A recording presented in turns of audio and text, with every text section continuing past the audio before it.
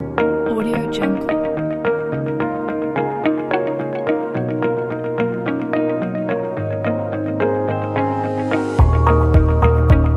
Audio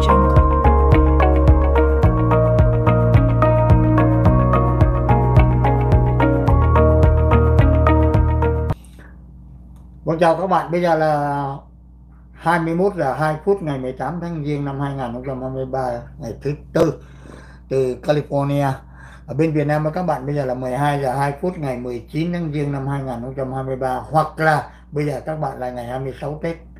À, chúng tôi đang trong ngày 25 Tết và chúng ta chỉ còn vài ngày nữa là bước vào một năm mới, năm Quý Mão một cái năm rất dễ, dễ ghi nhớ trong lịch sử Việt Nam. Năm Quý Mão 1963 Việt Nam đã đảo tránh. Quân đội Việt Nam Cộng Hòa đã đảo tránh để lật đổ chế độ Ngô Đình Diệm sau đó thì họ đã giết ông Ngô Đình Diệm năm Quý Mão 2023 thì Cộng hòa xã hội chủ nghĩa cũng đã chỉ còn vài ngày nữa bước qua là năm Quý Mão. Thì ông chủ tịch nước Nguyễn Xuân Phúc. Đúng ra thì năm nay vẫn còn là nhâm dần. Nhưng mà đuôi con cọp mà đầu con heo. À xin lỗi. Là đầu con mèo. Nhưng mà thật sự là 2023 rồi. Chúng ta chưa là quý mão. Nhưng mà đã là 2023 thì theo tử vi lục thập hoa giáp là 60 năm. Trở lại một chu kỳ. Là, là vừa cái can vừa chi. Chi tức là 12 con giáp. Can là là uh, thập can. Thập can gồm gồm có là giáp ất bính đinh mậu kỷ canh tân nhâm quý. Đấy. Thì đó là thập can. Thế còn uh, thập nhị chi tức là tí sửu, dần máu thìn tỵ ngọ mùi thân dậu tất hợi. Đấy. Thì cái 60 năm thì cả can chi sẽ trở lại là một chu kỳ. Và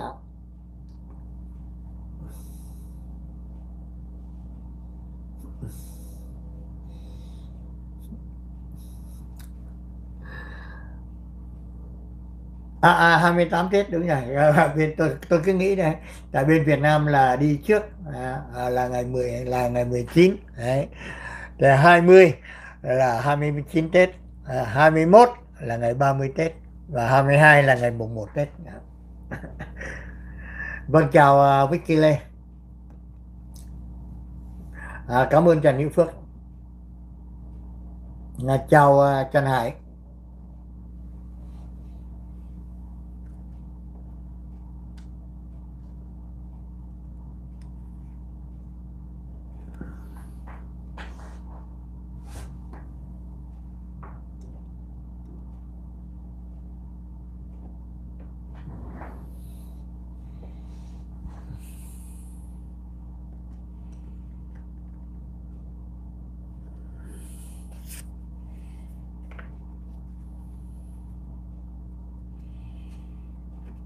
Cái sợi dây cable nó bị vướng. Này. Ờ, vâng thưa các bạn thì à, ở bên Mỹ lần đầu tiên thành phố đầu tiên của nước Mỹ luôn sau uh, coi như là 48 năm. Sau 48 năm một thành phố đầu tiên cả nước Mỹ đã tự ý đứng ra tổ chức cái buổi diễn hành trong dịp Tết Nguyên đán. Nói rằng diễn hành Tết là không có đúng, bởi vì ngày Tết không có diễn hành. Và chưa bao giờ tôi nghe nó có diễn hành vào ngày Tết hết, bởi vì ngày Tết là ở Việt Nam, theo phong tục Việt Nam là lo đi túc Tết, lo đi không có ai tổ chức cái diễn hành hết. Thành ra không thể gọi là diễn hành Tết mà phải gọi là diễn hành trong ngày Tết. Cái đó nó mới đúng nghĩa. Và tại vì bên Mỹ này ngày Tết nếu mà không có tổ chức diễn hành thì không có một cái gì gọi là Tết. Thì tất cả những cái gì hương vị ngày Tết đều không có. Kể cả những cái tục lệ như là gói bánh tét, bánh bánh trưng hay là cái đấy đều cũng không có luôn. Sau này thì mới có thêm mứt và sau này có những à, hoa quả trái cây nhập cảnh được nhập cảng từ Việt Nam qua thành ra nó có mấy chợ hoa chợ chợ trái cây mang những không khí của ngày Tết. Thì à, có những cái cái buổi này cũng vui vui. Thí dụ mình mua mua trái cây thì mua trái mãng cầu thì gọi là cầu. Mua trái trái dừa thì gọi là là vừa vừa người miền Nam không có đọc chữ vừa người miền Nam mà đọc là dừa à, mua đu đủ tức là đủ. Mua trái xoài người miền Nam không đọc trái xoài người miền Nam đọc là xài. Thì câu vừa đủ sai. Thì tôi thêm à, thêm trái chôm chôm sau này mới được nhập cảnh vào Việt Nam à, vào Mỹ. Thì mình à, chôm vừa chôm cầu vừa đủ sai. Cái đó thì cẩn thận nha. Đi chôm mà bị bắt là ở tù luôn này bây giờ thì chúng ta thấy bác trọng đó bác bắt cái bác, bác bắt trùm trùm hay lắm. Bắt trái nào dính trái đó luôn mà. Chào chú anh tuấn. Thì uh, năm nay thì uh, chi phí nó lên quá. Năm ngoái là 140 ngàn. Thì uh, năm nay không anh nào dám làm hết. Không anh dám dám nào anh anh nào dám chạy ra. Mà cái khổ cái nữa ngày tết diễn hành ấy, để mà mừng tết đó là một cái biểu tượng của văn hóa đúng không? Vậy mà người ta mang ra chửi nhau phe này chửi phe kia. Phe Trần Thái Văn Nguyễn Quốc Lân Tạ Đức Chí thì chửi phe của Bùi Phát. Phe Bùi Phát thì chửi lại phe bên kia. Chẳng ra thể chống gì hết. Toàn là những người có tiền có bạc và có học thức. Cái chính ở đây là cái học thức. Những ngôn ngữ không biết là trường luật như ông luật sư Trần thanh Văn ông luật sư Nguyễn Quốc Lân trường luật có dạy. Đời sở mờ hay không thì tôi không biết tại vì tôi không có học luật. Thì à, nhưng mà các ông thì lại sổ nho không biết là có biết tiếng tiếng tiếng, tiếng hán hay không thì không biết thì à, nhưng mà bây giờ chào phạm khuông mua mua quả bom thì gọi là cu bom. Thì thành phố Westminster vào ngày uh, chủ nhật này 22 tháng Giêng 2023 dương lịch tức là là ngày mùng 1 Tết đúng 8 giờ rưỡi sáng sẽ có một buổi diễn hành do các à, học sinh, các trường trung học, các tổ chức, các à, doanh nghiệp thương mại, họ đăng ký để quảng cáo thương vụ thương vụ của mình. Thì à, thật ra nó có, nó cũng cho vui, chứ nó không có buôn bán gì được hết trừ những người bán hàng dọc đường buôn xa thì có thể sẽ kiếm thêm được một ít. Quý bạn nào mà chưa đi hội chợ xuân ấy, chợ hoa đấy ở đường Buôn xa thì ngày chủ nhật thứ sáu này là ngày cuối cùng. Ngày mai còn một ngày mai vào ngày thứ sáu nữa là chấm dứt thứ bảy họ sẽ làm sạch sẽ, dọn dẹp sạch sẽ và để chuẩn bị cho cuộc diễn hành ngoài ra thì có những cuộc hội trợ, như hội trợ của ông giám sát viên Andrew Đỗ tổ chức trên My Square Park, tức là công viên một dặm vuông My đây là một dặm, đấy.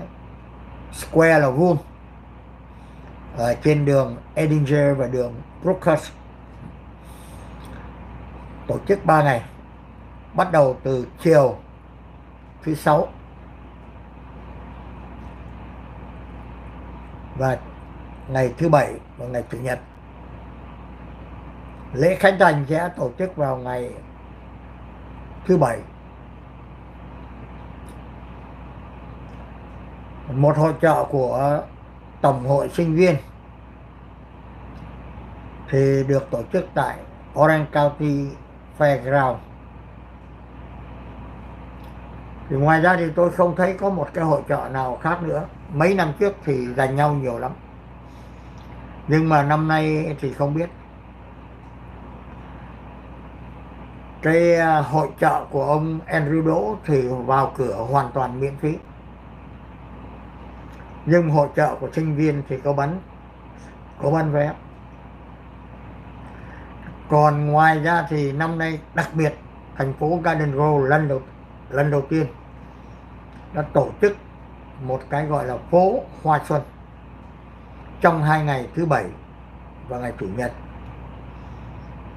Tối thứ sáu này ngày 20 đó, thì họ bắt đầu đóng con đường main ở giữa đường Euclid và đường ờ, Garden Grove Boulevard để chuẩn bị cho buổi là hội hoa xuân. Sẽ có đốt pháo. Chương trình có đốt pháo đó đầy đủ hết. Nhưng mà mục đích là toàn là hoa xuân. Hoa, đủ hết loại hoa hoa đào, hoa mai này. Thì à, tôi không biết, nhưng có thể có thôi. Họ sẽ bán. Thì ngày hôm đó này các bạn mua chắc là rẻ tại vì chỉ còn 30 và mùng 1 đấy thôi.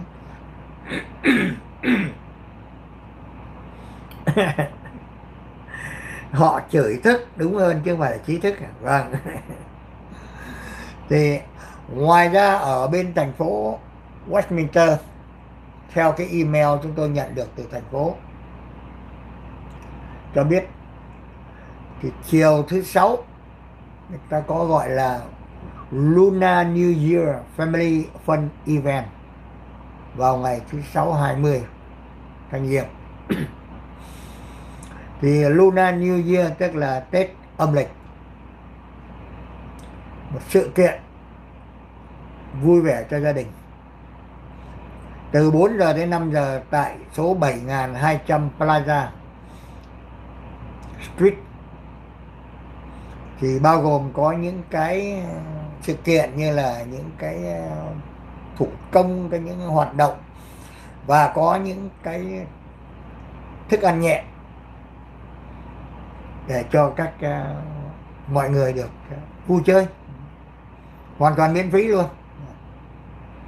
Thì đó là những cái điều mà tôi thấy rằng là cái văn hóa Việt Nam bắt đầu thấm nhầm vào trong đất nước Mỹ.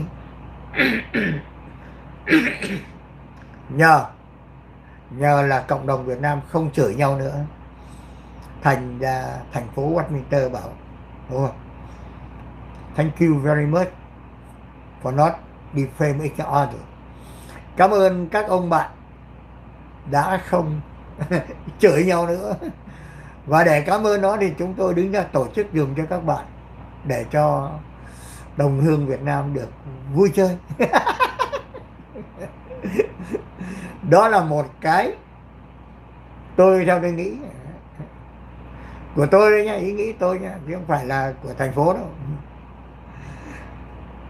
Thành phố dạy cho người Việt Nam một cái bài học về văn hóa. Thế nào là văn hóa? Văn hóa không có nghĩa rằng tranh giành nhau, chém giết lẫn nhau và chửi nhau. Văn hóa là vui chơi, là hòa đồng, là chung tay góp sức người này tổ chức người kia không được tổ chức. Thì mình chung tay. Cái người được đấu thầu thì mời người bị mất thầu vào tham dự ngồi với nhau mới chứng tỏ rằng sự đoàn kết. Và đó là lý do tại sao sau ngày 30 tháng 4 năm 1975 đến nay tất cả mọi diễn tiến ở cộng đồng Việt Nam vẫn đang thực thổ nổi, thổ nổi, thổ nổi hai ngày hôm nay, ông Ngô Kỷ tôi trên KBC Hải Ngoại, đã nói về cái sự kiện sau khi tôi nói chuyện với thành phố Garden Grove. Tôi gọi điện thoại cho nói chuyện và tôi xem các video của phố Bunta TV phỏng vấn Ngô Kỷ cũng như là Rush Media của ông Nam Quan tôi đề nghị ông Nam Quan. Ông không thể đội hai cái mũ ở trong cái thành phố này. Ông có quyền sinh hoạt trong cộng đồng. Cái chuyện là chuyện tự do của mỗi người. Nhưng ông là một phó thị trưởng của thành phố.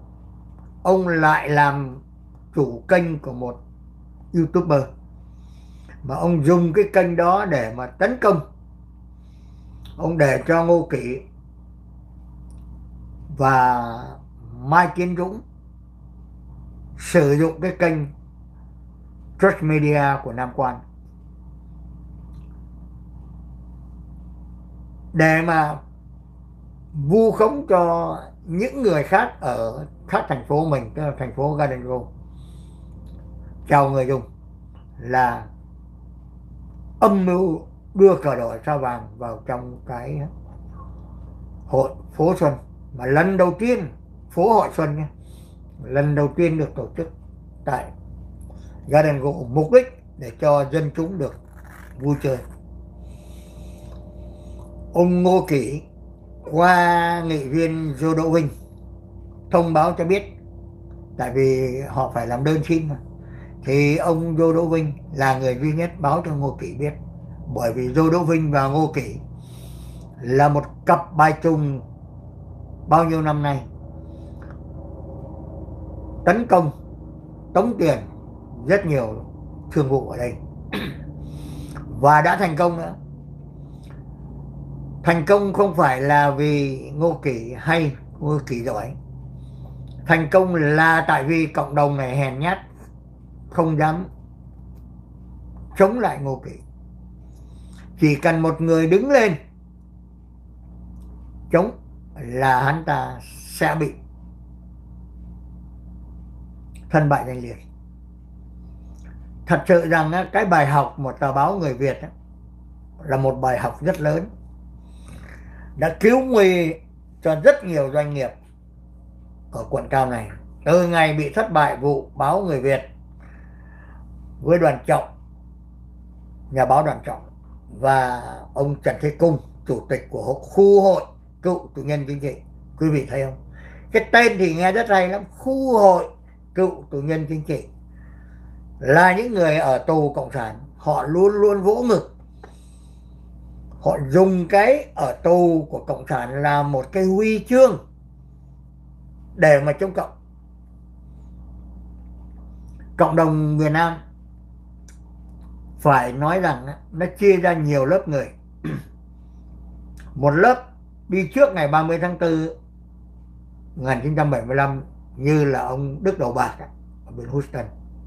Tức là những du sinh đi học xong bị kẹt ở lại. Lớp thứ nhì là cái lớp đi di tản bằng máy bay và là lớp đầu tiên được tới nước Mỹ trại Camp Pendleton Camp Benton ở California đó là tôi tôi có mặt tại Camp Pendleton ngày mùng 5 tháng 5 1975 Tôi đi khỏi Việt Nam ngày 27 tháng 4 năm 1975. Người kế đến đến sau tôi hai ngày là ông Nguyễn Cao Kỳ. Tôi ở lều 7, Nguyễn Cao Kỳ ở lều số 11. Sát vách nhau luôn, đối diện nhau.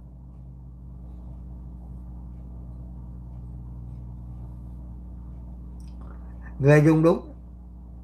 Chào Trần Trung. cái con thằng sắt chào mọi người con thằng sắt là con ai nữa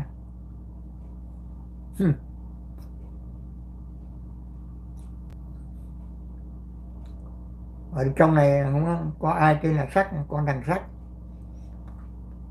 mà đã là con người con ờ, ông sắt mà lại gọi ông bằng thằng. Vâng chào bạn. À, mới vào. Thì à, trở lại cộng đồng Việt Nam mình. Sau hai ngày thì đã sự đúng như là tôi dự đoán. Ngô Kỳ đã rút lại và còn tuyên bố rằng cái phố hội ờ, phố hội xuân đấy có treo cờ đỏ sao vàng chưa chắc tôi đã chống. Bây giờ tôi chống thì tôi chỉ chống con rồng đỏ. Quý vị thấy rằng một cái ngụy biện rất là vô lý. Nhận tiền của người ta rồi thì không chống nữa, nhưng mà không có lý do gì. Nói rằng á dù bây giờ có cờ đỏ sao vàng tôi cũng không chống thì tôi chống con rồng đỏ. Thì hỏi vũ hoàng lân hỏi tại sao lại chống rồng đỏ? Tại vì đỏ con rồng đỏ là nó rất nhiều màu đỏ. À thì như vậy ngô kỷ đã tự mình mâu thuẫn. Bởi vì lá cờ đỏ sao vàng đó, nó nhiều màu đỏ hơn là lá cờ vàng ba sọc đỏ. Bởi vì cái lá vật cờ vàng á, thì nó lại có nhiều màu vàng mà nó chỉ có ba sọc thôi. Mà ngô kỳ có hiểu ba sọc đó là cái gì không? Ba sọc đó là thằng pháp, quốc kỳ đó được hình thành do ý tưởng của người pháp, nam trung bắc. Đó là một cái phương phương án của người pháp chia để trị. Thành ra mới có sự chia rẽ bắc kỳ, nam kỳ và trung kỳ đấy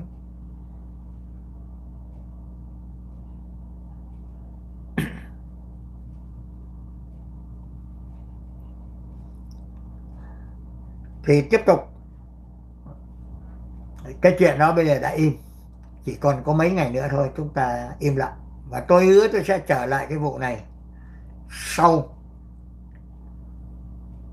ngày mùng 1 Tết. Anh à, Linh Nguyễn là tổng giám đốc của công ty Ly gửi tiền lẻ, đã rút ra khỏi ban tổ chức. Nhưng mà cái đơn xin phép vẫn là đơn xin phép của cơ quan của anh. Thì theo sự thỏa thuận giữa Linh Nguyễn và Ngô Kỷ, thì tôi không biết bao nhiêu tiền trong cái phong bì nhưng mà có điều kiện, Linh Nguyễn sẽ rút ra khỏi đó. Để cho Ngô Kỷ được nở mày nở mặt, tôi cũng có thành công. Và đó là cái thành công ông Linh Nguyễn đã rút ra thành ra tôi không chống nữa.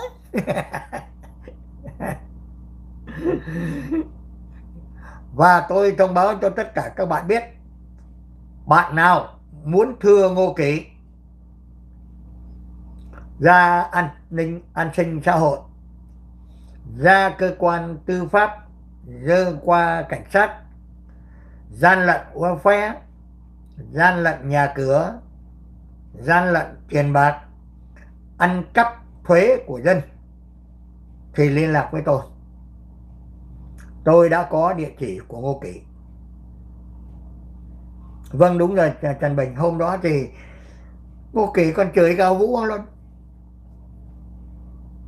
Nếu mà Vũ Hoàng Lân ờ, của phố Buôn Gia TV là cộng sản thì tôi cũng treo cổ luôn.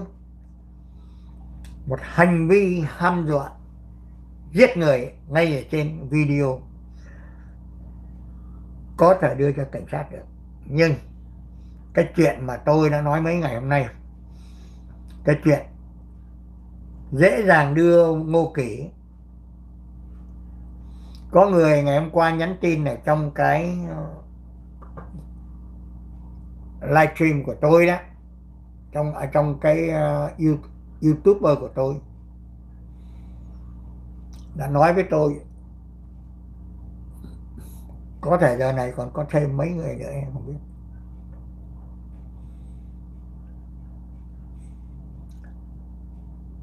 Nhật Minh Nhật Minh tít, cụt ơi là cụt. Cũng sắp chết rồi, sân si quá vậy, cụt già. Ok. Đi chỗ khác chơi. Cụt tâm hồn, cụt trí tuệ, cụt liêm sỉ. Đây là những ngôn ngữ của một là đám hoàng diều nhưng mà đám hoàng diều thì tôi chặn hết rồi, không còn không còn.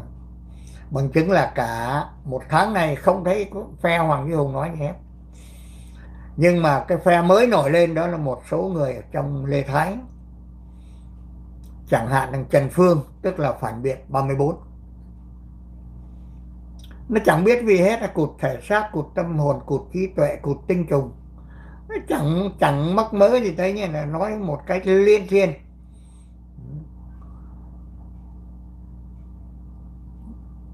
Sân si đến chết hả, hả hồng cụt cái chuyện chuyện của tôi không phải chuyện của bạn.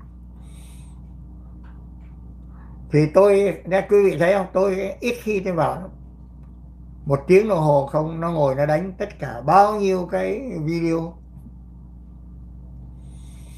thì đây là những cái video còn lại.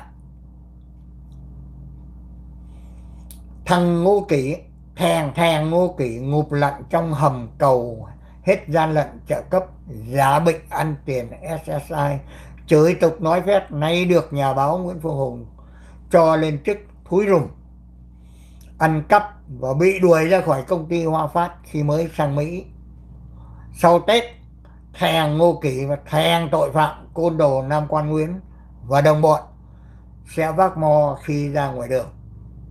Nhân tiện đây cũng thông báo các bạn.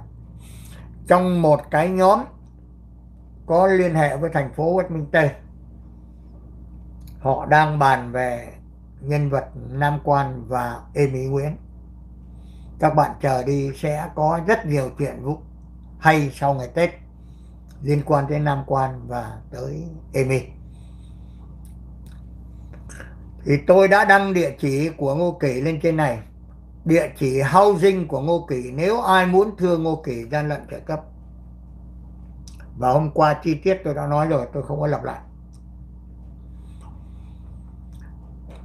Thì một cái nick tên là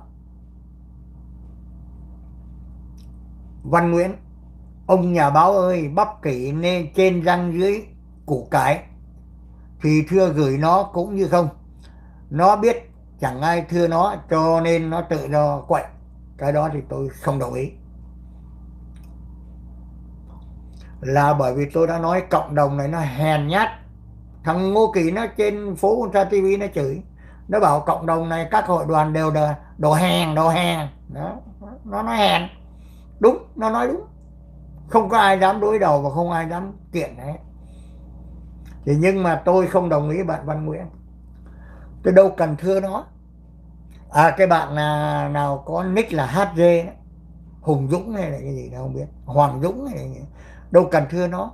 Chỉ cần tố cáo nó là luật pháp sẽ làm việc và còng nó. Xúc vào trại giam hoặc tâm thần ngay. Kỳ này nó sẽ toi đời luôn gian lận trợ cấp từ cha đến con. Cái này tôi đồng ý. Và tôi cũng đã trả lời. Chúng chúng tôi biết, tôi trả lời cho anh Văn Nguyễn Nguyễn Văn tôi, chúng tôi biết Ngô Kỷ trên răng dưới liều đạn liều đạn sát luôn đó nên không phải thưa Ngô Kỷ về để lấy tiền bồi thường. Bồi thường cái gì? Thưa Ngô Kỷ để, thứ nhất, nó ở tù để sám hối cái việc làm của nó thứ hai, ăn cắp tiền thuế của người dân Mỹ đóng thuế, trong đó có tôi và các du khách đến thăm nước Mỹ. Bởi vì du khách tới nước Mỹ là phải đóng thuế, từ tiền thuế khách sạn cho tới thuế mướn xe, thuê xe để thuế ăn uống, để thuế mua sắm, đều phải đóng thuế hết. Và những tiền thuế đó được trích ra để giúp cho những người mất dạy như thằng Ngô Kỷ. Thật sự rằng họ giúp cho những người đàng hoàng những công dân đàng hoàng, nghèo đói thật sự. Chứ không phải giúp cho những cái loại người gian lận như Ngô Kỷ thứ ba, chúng tôi muốn là trả lại cái tiền ăn cắp thuế của dân và tống tiền các doanh nghiệp bằng chính nghĩa cờ vàng. Thứ tư, cộng đồng người việt chống cộng sản việt nam xa nửa vòng trái đất, nhưng lại ươn hèn trước ngô kỷ để hắn dùng chính nghĩa việt nam cộng hòa tống tiền các doanh nghiệp little sài gòn supermarket, phạm hoàng bắc, nhà hàng viễn đông của tony lâm, vân vân và vân vân. Khi mà tôi nói những chuyện này là đã đã có những video như là của Lâm Nguyên, quận Cam, viết về cái vụ 10.000 đô la tống tiền Phạm Hoàng Bắc. Little Sài Gòn supermarket của ông Trần Dũ, thì ông Trung tá nhảy dù Phạm Đình Cung xác nhận là chính ông cầm một phong bì 5.000 đô la tiền tươi để đưa cho Ngô Kỷ. Sau đó thì nó lái chiếc xe ven với cái lá cờ vàng ba sọc đỏ. Quý vị chống cộng sản, quý vị chửi cộng sản, nhưng mà quý vị dùng những cái lá cờ Việt Nam Cộng Hòa và nhục mạ lá cờ đó. Khi mà Ngô Kỳ ra tòa với cái vụ báo, tờ báo người Việt ông luật sư bên người Việt nói rằng tại sao ông sơn cái xe của ông cờ vàng ba sọc đỏ Ngô Kỷ. Bởi vì tôi yêu Việt Nam Cộng Hòa. Ông có đi lính Việt Nam Cộng Hòa à, không? Nhưng mà tôi yêu nước. Thế ông biết rằng khi mà ông để cái xe như vậy đó ông ngồi tức là ông ngồi lên trên lá cờ như vậy là ông yêu nước hay là ông ngồi trên cái lá cờ của ông? Cô Kỳ bảo không tôi ngồi cái lá cờ tôi lái xe tôi chạy đi mà. Thì ông luật sư bảo ừ thế nhưng mà cái lá cờ đó ông để ngoài mưa ngoài nắng ngoài gió để bụi. Thế như là cái mấy hôm ông để nó bị xẹp lốp á ở, ở báo người Việt ông biểu tình á. Ông để 10 ngày ông không kéo đi bị cảnh sát Westminster cho giấy phạt. Bụi bặm đầy hết. Ông làm rơi cái lá cờ như như vậy thì ông có là yêu nước à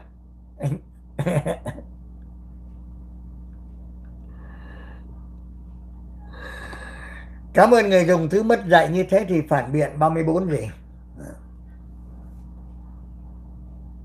Thì à, đại khái có những cái à, không có thì giờ. Thì à, tôi không có đọc những cái này. Ngày hôm nay là ngày 18 tháng Giêng. Nhưng mà bên Việt Nam là đã là ngày 19 tháng Giêng ngày 19 tháng Giêng năm 1974 Hoàng Sa đã mất vào tay Trung Quốc với sự âm mưu tiếp diễn, tiếp tay, đúng là tiếp tay, của Mỹ sau một màn đánh bóng bàn. Quý vị biết rằng Hoa Kỳ không có nổi tiếng. Nổi tiếng về vớt rất nhiều môn thể thao, nhưng mà môn bóng bàn người Mỹ không có giỏi, không đánh được. Nhưng mà lại gửi một phái đoàn đi qua Trung Quốc. Mà Trung Quốc lại nổi tiếng là vô địch bóng bàn trên thế giới. Ở đó, ở Á Châu đó, những người nghệ Trung Quốc này, người à, Nhật này, Việt Nam này, người người Hàn này rất là giỏi. Về môn bóng bàn không biết tại mình à, những miền như là Indonesia Malaysia thì lại không. À, chỉ có chỗ những miền mà Đông Nam Á thì chỉ có Việt Nam thôi. Rất giỏi. thì phái đoàn bóng bàn đó là một gọi là mở đầu trong cái kỷ nguyên mới. Hoa Kỳ nói chuyện với Trung Quốc. Và sau đó Tổng thống Nixon đi thăm Trung Quốc.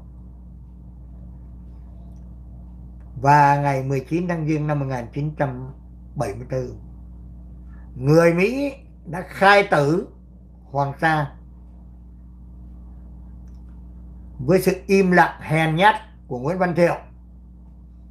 Mà người mới chết đây là tư lệnh Hoàng Sa là ông Phó Đề đốc Hồ Văn Kỳ Toàn. Ông mới chết tuần trước. Tôi đã nói với ông Hồ Văn Kỳ Toàn. Tôi nói đề đốc là người duy nhất nắm được cái sự thật. Đại tá Hà Văn Ngạc. Ông viết với một cái luận điệu để bênh vực và bảo vệ Nguyễn Văn Thiệu đại tá Hà Văn Ngạc là một thằng sĩ quan hèn trong hải quân quân chủng hải quân. Trong quân chủng hải quân có rất nhiều anh hùng, cũng như các quân binh chủng khác có rất nhiều anh hùng. Như các bạn thấy tuần trước tôi khen, bên nhảy dù tôi khen ông Nguyễn Đình Vinh bên ờ, thủy quân lục chiến à quên à, đúng ở bên lục chiến thì có cổ trấn Kinh Châu. Ở bên ờ, à, biệt động quân có ông đại tá Nguyễn Thành Chuẩn. Ông Nguyễn Thành Vinh đã bị đánh rớt xuống trung tá xong rồi lên lại đại tá nhưng mà không bao giờ lên được chuẩn tướng mặc dù ông rất giỏi. Bởi vì cái vụ Hạ Lào ông Nguyễn Thành Chuẩn không lên được chuẩn tướng, không bao giờ ông là tư lệnh biệt động quân quân khu 3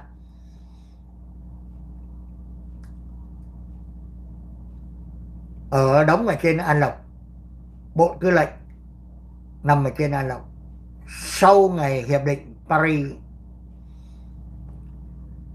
thì anh em biệt động quân ở trên đó mở tiệc ăn mừng ông trung tá, ông Ngô Minh Hồng là trung tá nhưng không phải đại tá nữa Ngô Minh Hồng về Sài Gòn đón một đoàn gái nhảy vũ nữ, khoảng 30 người, mang lên câu lạc bộ Phụng Hoàng ở trên An Lộc. Và khi nhảy đầm thì phải đưa lên trên và phải có đèn, phải có nhạc. Thì đề lô của cộng sản bắc việt họ chấm ngay tọa độ. Và việt cộng pháo kích vào.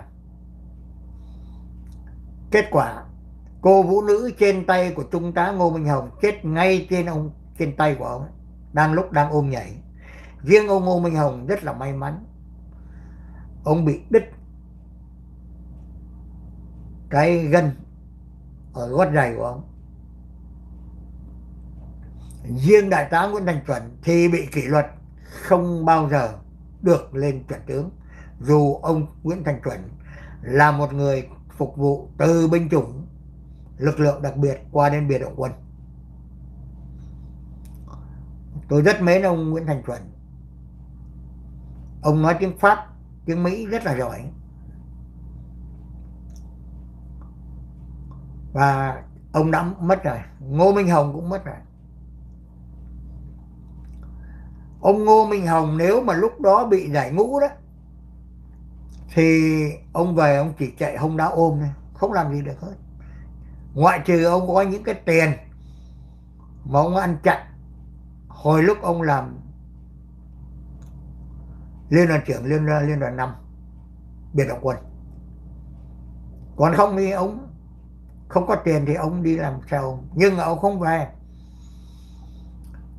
ông về ngồi văn phòng. Đại tá Trần Văn Hai là người đã tự tuấn, chết sau ngày 30 tháng 4 75 kéo ông Ngô Minh Hồng về làm tham mưu trưởng cảnh sát quốc gia Đô Thành. Một cả một đơn vị cảnh sát nha và ông Ngô Minh Hồng bị khui cái vụ quan thuế ở Đà Nẵng à quên à, xin lỗi ở Cương cảng Sài Gòn. Và cái vụ đó một số người đã bị kỷ luật.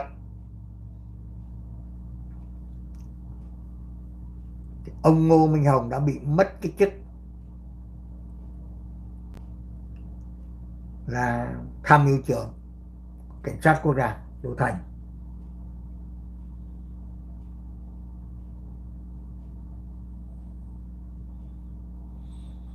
Thằng quan tài nó nói, nhưng mà nó không chứng minh. Thành ra nó không chứng minh thì tôi coi như là không có tốt nghiệp kỹ sư. Người cảnh sát dừng nó và hỏi nó bằng lái xe, nó không thể trả lời cảnh sát này. Ông đi lại nha lộ vận mà ông ông ông hỏi, anh phải trình cho cảnh sát biết đây là bằng lái xe của tôi chứ đâu có thể anh bảo cảnh sát đi ra nhà lầu vận hỏi. Tôi hỏi cả hai thằng đều không chứng minh, tức là tụi nó nói láo.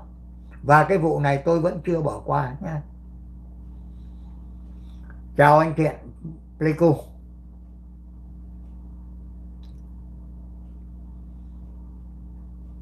Thì à, tôi nói chuyện tiếp.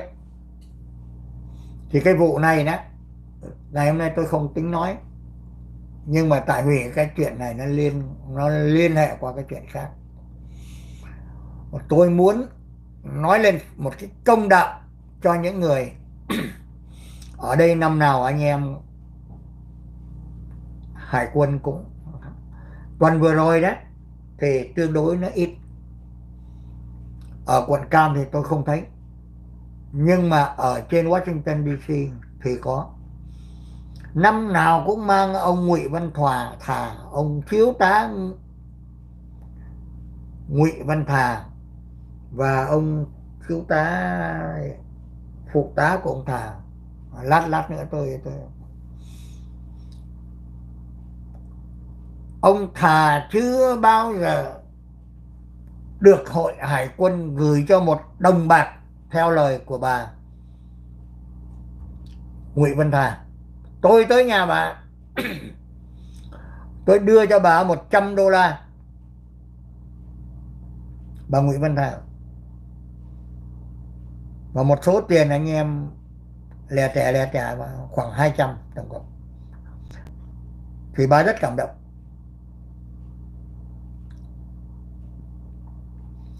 Thì gặp bà Nguyễn Văn Thà, tôi mới biết rằng người ta ở hải ngoại này dùng tên Nguyễn Văn Thà nhưng mà chưa bao giờ gửi tiền về cho ông Nguyễn Văn Thà, trừ ông Trần Quốc Bảo, chủ tịch của tổ chức Phục hưng Việt Nam. Ông Trần Quốc Bảo là vì lý do tình đồng môn cùng khóa với lại ông Nguyễn Văn Thà. Ông Trần Quốc Bảo đã gửi về cho ông Thà hơn 800 đô la. Và một lần duy nhất nha, một lần duy nhất. Tức là làm để lấy tiếng lúc đó thì ông Nguyễn Thế Phượng ở dưới San Diego, sau khi nghe câu chuyện, tôi đi Việt Nam về, tôi kể lại. Trên ờ, KBC hải ngoại, YouTube, thì ông Nguyễn Thế Phượng đã tức giận mà đề nghị rằng bất cứ một người nào ở hải ngoại này mình nhắc tới tên ông Nguyễn Văn Thà, hãy bỏ vào trong cái lon ông để ngay ờ, trong ờ, một nơi nào đó, đó. 10 đô la. Và số tiền đó sẽ được gom lại tức là một cái hòm. Cái thùng như cái giống cái thùng quốc xương có chìa khóa cái tôi có nói ông ông uh, Nguyễn Thế Phượng tức là ông uh, Peter uh, Nguyễn đó. anh để một cái thùng phước xương anh để một cái khóa. Nhưng mà anh có chắc cái khóa đó nó không mở không? Nó gọi à, cơ quan locksmith của Mỹ. Tới là nó rà ra một cái là nó mở ra liền. Mỗi ngày nó nhón đi một nửa thôi thì anh lại vô tình. Anh cho, anh bốc cứt cho tụi nó ăn. Vâng cảm ơn anh à, võ hào. Nguyễn thành trí bà nguyễn thành trí thì à, còn sống lần thứ nhì tôi gặp bà Nguyễn Văn Thà ở quận 10 lúc đó đó,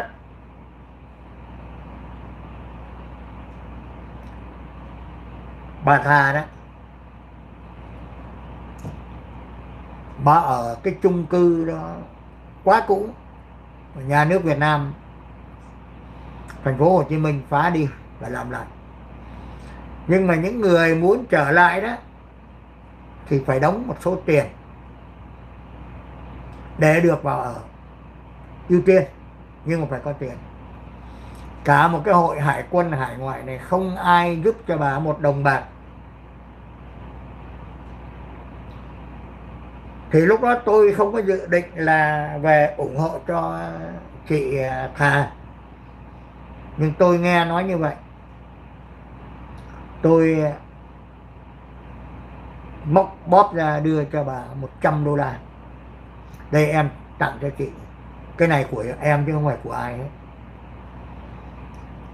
Còn nhà văn Huy Đức là người viết bên thắng cuộc.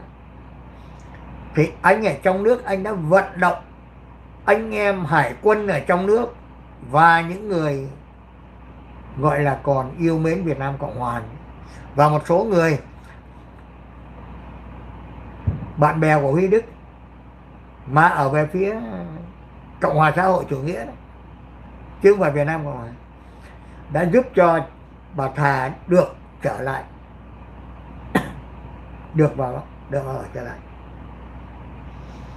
Còn bà Nguyễn Thành Trí tôi nghe nói hình như mất này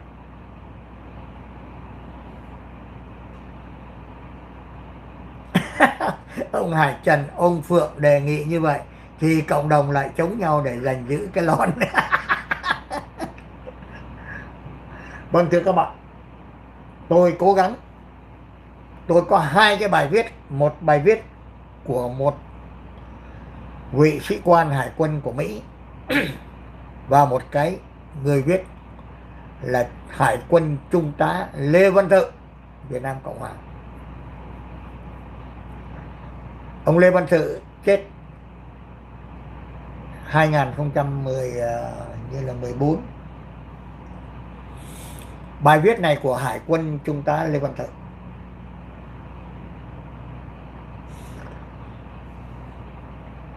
đây là một sự thật hơn bất cứ một sự thật nào. Bởi vì do chính hải quân trung tá lê văn thự là thuyền trưởng hạm trưởng xin lỗi hạm trưởng của HQ 16 lúc mà tham gia vào trong trận đánh Việt Nam Cộng Hòa có 4 chiến hạm HQ4, HQ5, HQ10 và HQ16 tất cả những lời tường thuật của trung tá Lê Văn Thự là ông đã nói lên cái tâm huyết cuối cùng một sự sáng tỏ cho cái lịch sử. Và trong cuốn sách Đại Sử Ký Toàn Thư 30 tập dự kiến là sẽ phát hành năm 2024 trong nước mà bây giờ do chung cho ông uh, à, giáo sư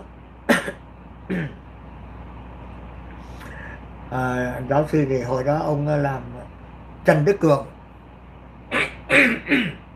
Ông làm tổng biên tập của lịch sử Việt Nam 15 tập.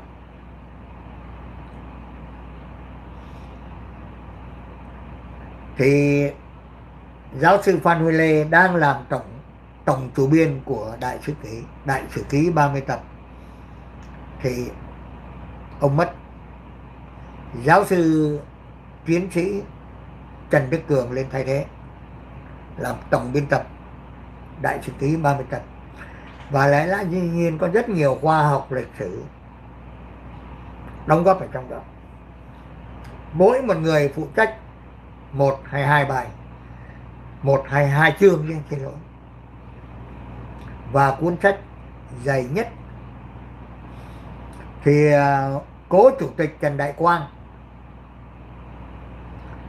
hôm tôi tới thăm giáo sư Phan nguyên Lê thì giáo sư à, chủ tịch nước Trần Đại Quang cũng mới rời khỏi nhà giáo sư Phan nguyên Lê. Tôi tới nhà giáo sư Phan nguyên Lê hai lần để đi tìm sự thật về cái lịch sử Việt Nam 15 tập giáo sư Phan Huy Lê bảo tôi đâu có làm gì trong đó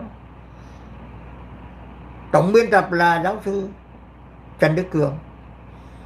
Vậy mà ông trung tướng Nguyễn Thanh Tuấn ấy, dám viết ở trên cái blog cả tiên lãng là nói rằng ông Phan Huy Lê là tổng chủ biên của lịch sử Việt Nam 15 tập. Bữa nào tôi sẽ trở lại cái vụ đó bây giờ chúng ta đi vào trong này. Đây là sự thật. Và tôi tin chắc rằng anh Thợ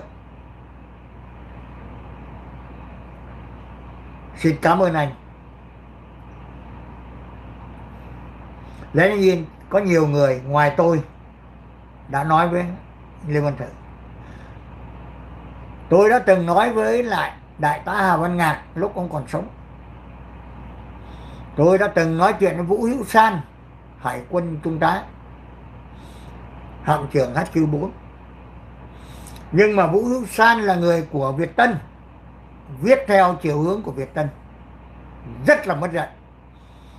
Vũ Hữu San đang ở dưới San Diego. Tất cả những đứa nào là mất dạy là tôi gọi là mất dạy. Xin lỗi. Từ ngày chúng tôi bắt đầu. Từ ngày trận hải chiến Hoàng Sa đến nay, tôi vẫn giữ im lặng, không viết ra những điều mắt thấy tai nghe.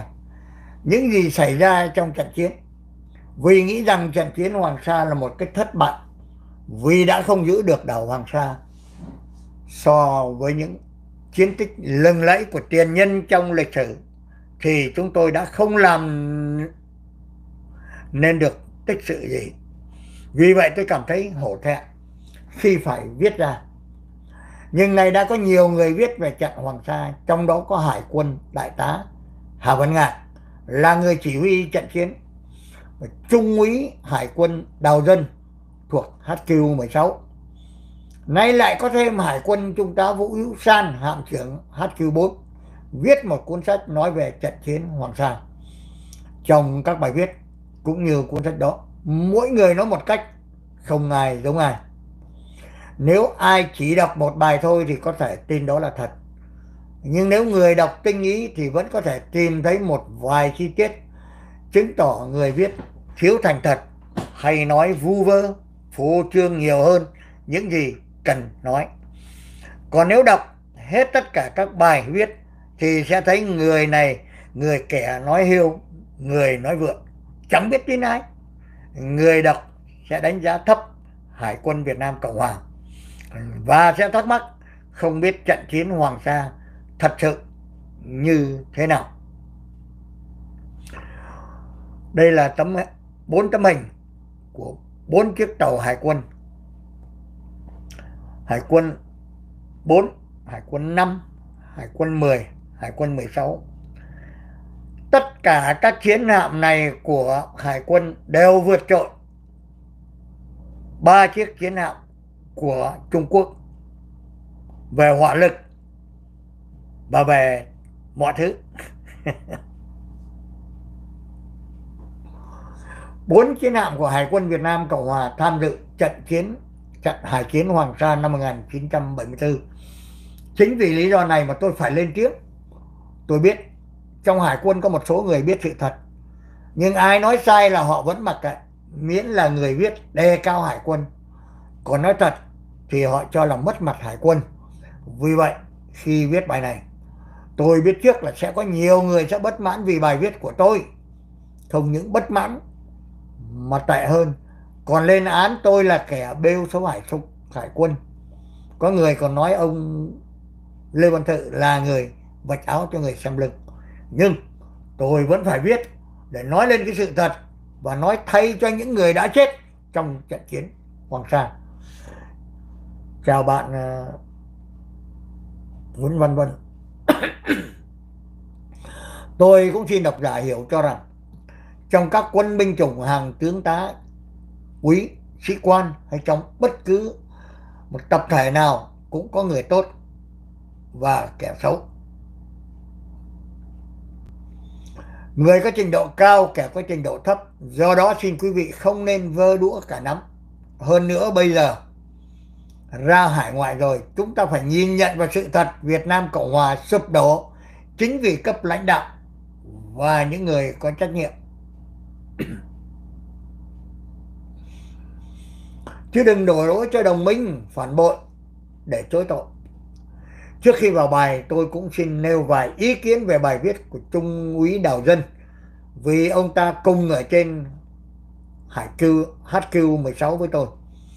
Những gì xảy ra trên HQ16 Trung úy dân viết có thể đúng, nhưng chưa chắc đã thấy hết mọi chuyện xảy ra trên HQ16 vì ông ở một cái vị trí nào đó, trên chiến hạm chứ không thể có mặt ở khắp mọi nơi ngoài ra ông ta còn phải lo cái phận sự của ông chứ không thể ngồi không mà quan sát trận chiến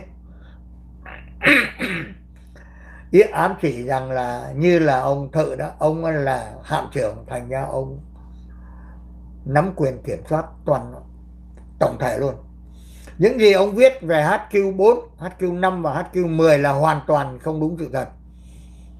Chính tôi là người chỉ huy HQ16 cũng không biết những hoạt động của HQ4, HQ5 thì làm sao mà ông dân biết được.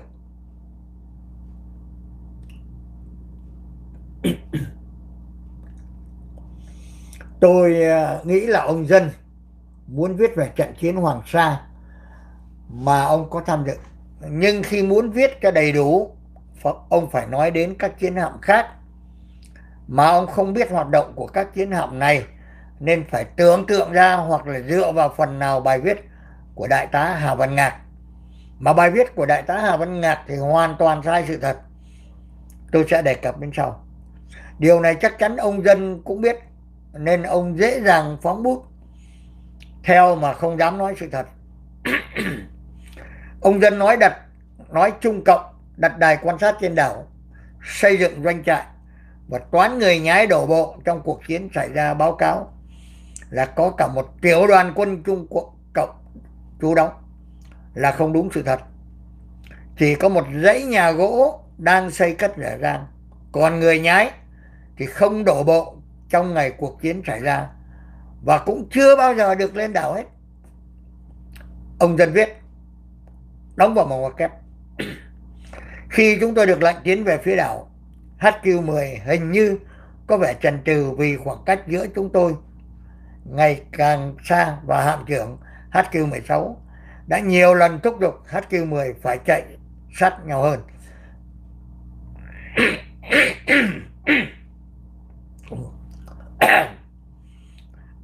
Đây là chuyện không có. Sự thật, trong trận chiến HQ16 tiến một hướng, HQ10 tiến hướng khác để vào lòng chảo của quần đảo Hoàng Sa, chứ không cùng tiến một hướng.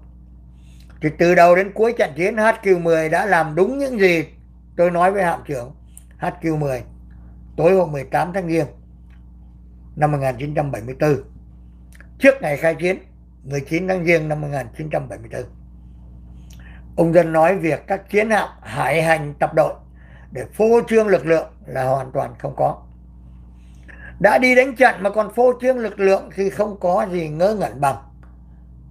Ông Dân nói HQ4 dùng mũi tàu để úi tàu Trung Cộng ra khỏi đảo Hoàng Sa là chuyện cũng không đúng sự thật và cũng không thể nào làm như vậy được, cũng như phóng đồ kế hoạch điều quân của ông dân cho thấy HQ4 và HQ5 tiến vào lòng chảo để tác chiến, cũng là không thật nữa. Hướng tiến quân của HQ4, HQ5 vào lòng chảo chính là hướng tiến quân của HQ10. Ông dân đưa thêm HQ4, HQ5 vào cho đủ bộ.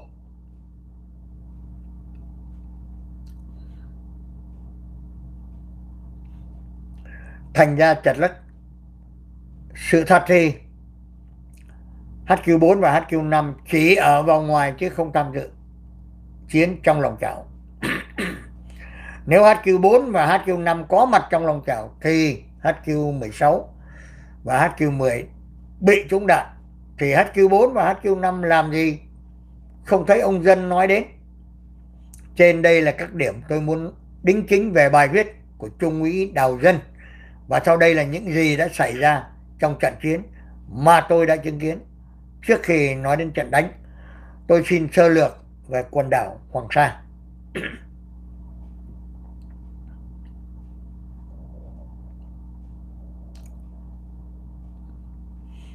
Đây là một bài báo lúc hồi đó trong nước tại hội nghị La Salle Saint Cloud, Việt Cộng, bác bỏ đề nghị của Việt Nam Cộng Hòa lên án vụ Trung Cộng chiếm Hoàng Sa.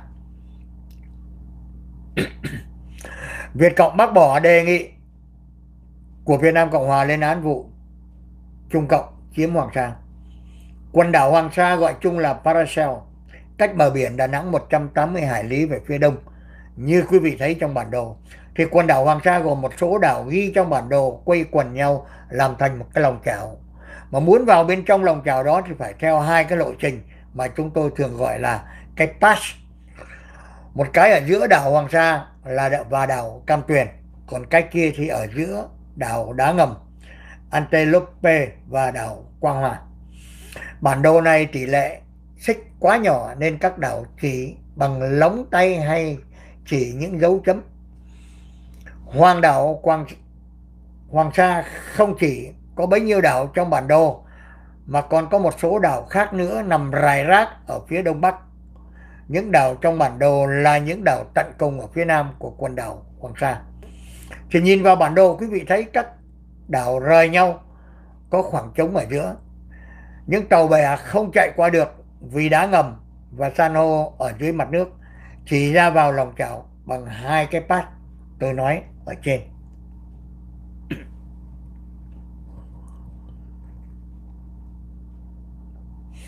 Quần đảo Hoàng Sa có đảo dài, có đảo dài, có đảo cao, nhưng cũng chỉ cao hơn mặt biển chừng vài chục thước. Các đảo phần nhiều trơ trụi, hiếm có cây cao, toàn là đá lởm chởm, chỗ cao, chỗ thấp, ít có hơi nắng, ít có nơi bằng phẳng. Gần bờ thì có đá ngầm, san hô. Hết đá ngầm san hô thì biển rất sâu. Đáy biển cũng có đá nên neo tàu không an toàn. Quần đảo Hoàng Sa cũng như là Trường Sa không thể lập căn cứ hải quân được vì không có chỗ ẩn núp cho tàu bè. Chỉ có thể lập căn cứ ở trên đảo mà thôi. Thì điều này chúng tôi xin được mở ngoặt là tôi là người đi ra Trường Sa ba lần. Thì tôi không biết Hoàng Sa. Thì à, năm 1960 à, nếu tôi không nhớ là 64 hay 65 lúc đó tôi học trường Phan Chu Trinh Đà Nẵng thì được Hải quân Việt Nam trở đi một số học sinh được chọn đi trong. Thì các uh, nữ sinh thì ói lên ói xuống. Nam sinh cũng có người ói còn riêng tôi thì không ói đã được ra đảo Hoàng Sa. Nhưng mà chúng tôi không được ở đó lâu chỉ lên trên đảo trao vòng hoa xong rồi trao quà xong rồi trở lại tàu, trở lại đất liền, tức là trở lại Đà Nẵng. Còn đảo Trường Sa thì chúng tôi đã lên. Thì à, cái này thì không đúng như là anh à, Lê Văn Thự nói. Thí dụ như đảo sông Tử Tây. Thì có thể anh thợ nói đúng cái thời điểm 1974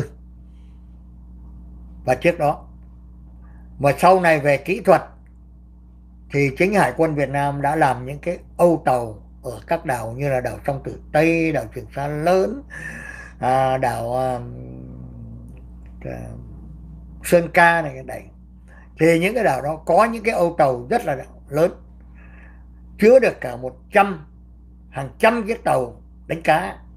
Mỗi khi biển động họ về đó họ núp thí dụ như là sông Tử Tây đó cái âu tàu nó có thể chứa được cả một ngàn chiếc tàu luôn. À, chúng tôi đọc tiếp.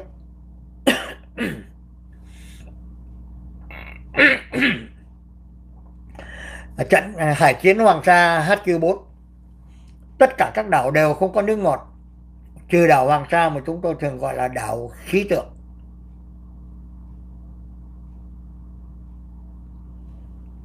Vì có đài khí tượng do người Pháp thiết lập và sau này luôn luôn có nhân viên khí tượng Việt Nam làm việc cho đến ngày trận chiến Hoàng Sa xảy ra. Người Pháp xây một hồ chứa nước ở bên trong nhà. Có các máng xối hứng nước mưa chuyển vào bên trong hồ chứa để dùng cho cả năm. Trên đảo Hoàng Sa mấy năm đầu tiên có một trung đội thủy quân lục chiến chân giữ. Về sau vì nhu cầu chiến trận, thủy quân lục chiến phải rời đảo và được thay thế bởi địa phương quân của tiểu khu Quảng Nam. Họ phải ở trên đảo Hoàng Sa vì chỉ đảo này mới có nước ngọt. Thủy quân lục chiến hay địa phương quân đều được trang bị xuồng cao su để di chuyển quanh các đảo mà kiểm soát. Sau khi biết tổng quát vị trí các đảo, quý độc giả có thể theo dõi diễn biến của trận chiến Hoàng Sa sau đây. Thì anh à, thiếu tá Phạm Văn Hồng là anh Hồng hình như là khóa 23 trường à, không không không phải khóa mà. Anh Hồng là khóa 16 trường võ bị quốc gia Đà Lạt đại khái thì anh lúc anh bị bắt làm tù binh Trung Quốc bắt làm tù binh thì anh là trung úy. Thì anh cũng có kể lại câu chuyện nhưng mà tôi thấy câu chuyện có vẻ ca tụng Trung Quốc quá nhiều bởi vì Trung Quốc là người thả anh ra thứ hai là anh ca tụng cá nhân của anh hơi nhiều so sánh với trận chiến Hoàng Sa và đã được cả phố Bonsa TV phỏng vấn và nhiều đài truyền hình ở đây phỏng vấn, trừ KBC hải ngoại. Người nào mà chưa được KBC hải ngoại phỏng vấn là người đã chưa có đủ uy tín và tầm vóc được nói ở trên KBC hải ngoại.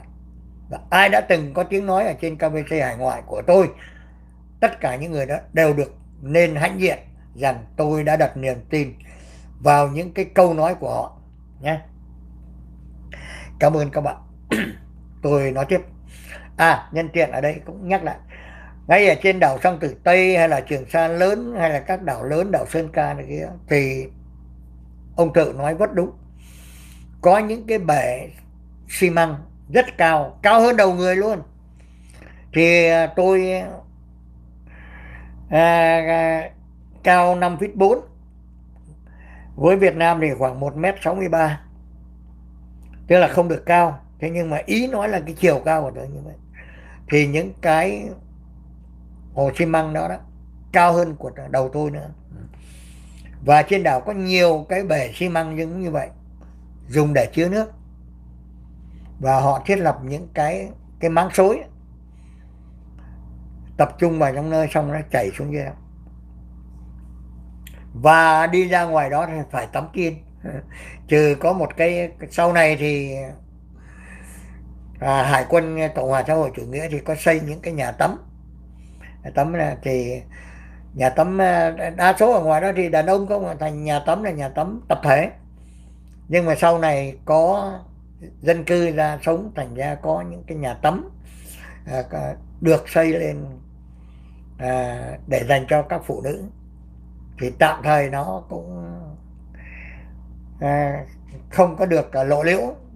Không bị lộ liễu. Vâng chúng tôi kể tiếp.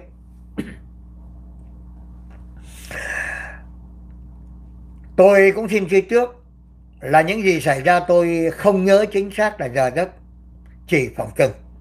Nhưng những sự kiện thì xác thực ngày giờ và sự kiện xảy ra đều có ghi trong nhật ký hải trình và nhật ký chiến hạm nhưng này không có thể tham khảo được ngày 15 tháng giêng năm 1974 tàu tôi HQ16 được lệnh ra công tác ở đảo Hoàng Sa chở theo một cố vấn Mỹ và một thiếu tá bộ binh thuộc quân đoàn 1 mà nay tôi không còn nhớ tên.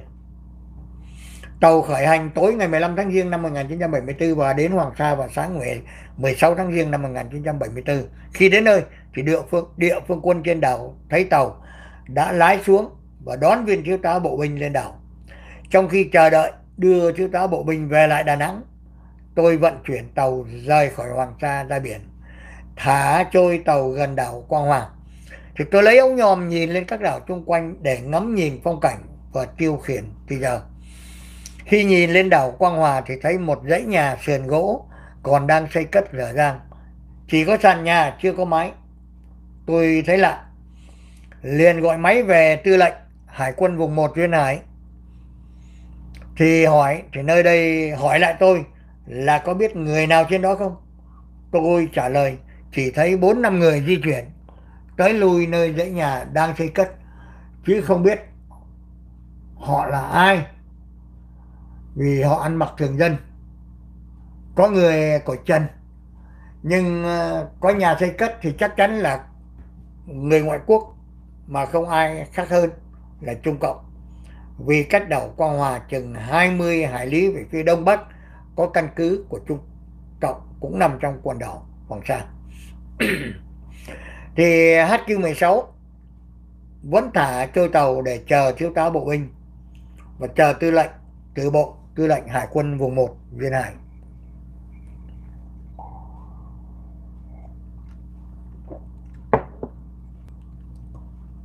Trưa ngày 16 tháng Giêng năm 1974, một chiến hạm Trung Cộng bắt đầu xuất hiện trong vùng. Tới ngày 17 tháng Giêng năm 1974, Bộ Tư lệnh Hải quân gửi ra một toán người nhái do Hải HQ-4 trở ra. Toán người nhái này rời HQ-4 bằng chuồng cao su để lên HQ-16. Sáng ngày 18 tháng Giêng năm 1974, HQ-5 và HQ-10 có mặt ở khu vực Hoàng Sa. Đại tá Hải quân Hà Văn Ngạc ở trên HQ5 là người chỉ huy cuộc chiến. HQ5 do Trung tá Phạm Trọng Quỳnh khóa 11. Ông Quỳnh cũng chết rồi.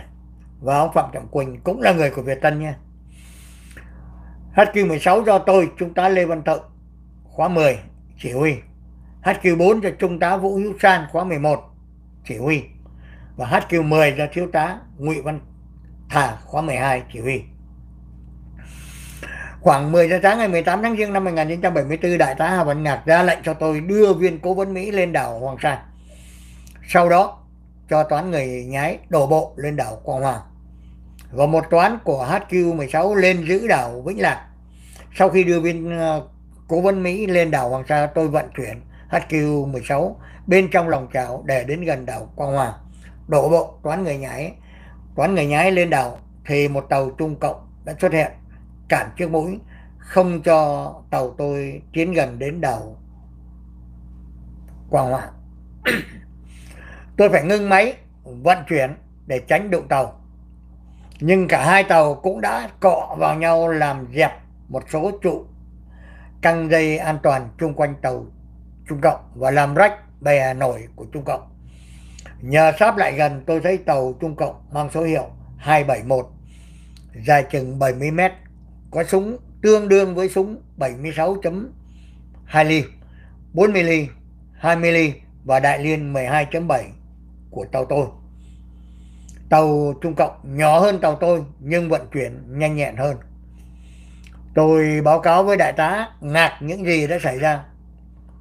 Sau đó tôi lái tàu ra khỏi lòng chảo và đổ bộ toán người người nhái vào ngoài mặt biển ở phía mặt nam của đảo Quang Hòa vào chiều ngày 18 tháng Giêng năm 1974. HQ-16 chỉ ở cách xa bờ 1-2 hải lý, rồi người nhái thả xuồng cao su có trang bị máy mà chạy vào bờ, chứ HQ-16 không thể vào sát bờ được vì đá ngầm và san hô. Toán người nhái rời tàu chừng non một tiếng thì gọi máy báo cáo là ở trong bờ đã bắn ra tôi hỏi người liên lạc máy là có thấy người ở trên bờ không? Và các anh đã lên được bờ chưa? Thì họ trả lời họ đang lội ngư nước, ngang ống chân, còn vài chục nước nữa thì mới tới bờ. Và họ cũng cho biết là không nhìn thấy người ở trên bờ. Thì vài phút sau thì nghe báo cáo là một thiếu úy người nhái đã bị bắn chết. Và họ xin rút lui vì không thể vào bờ an toàn được.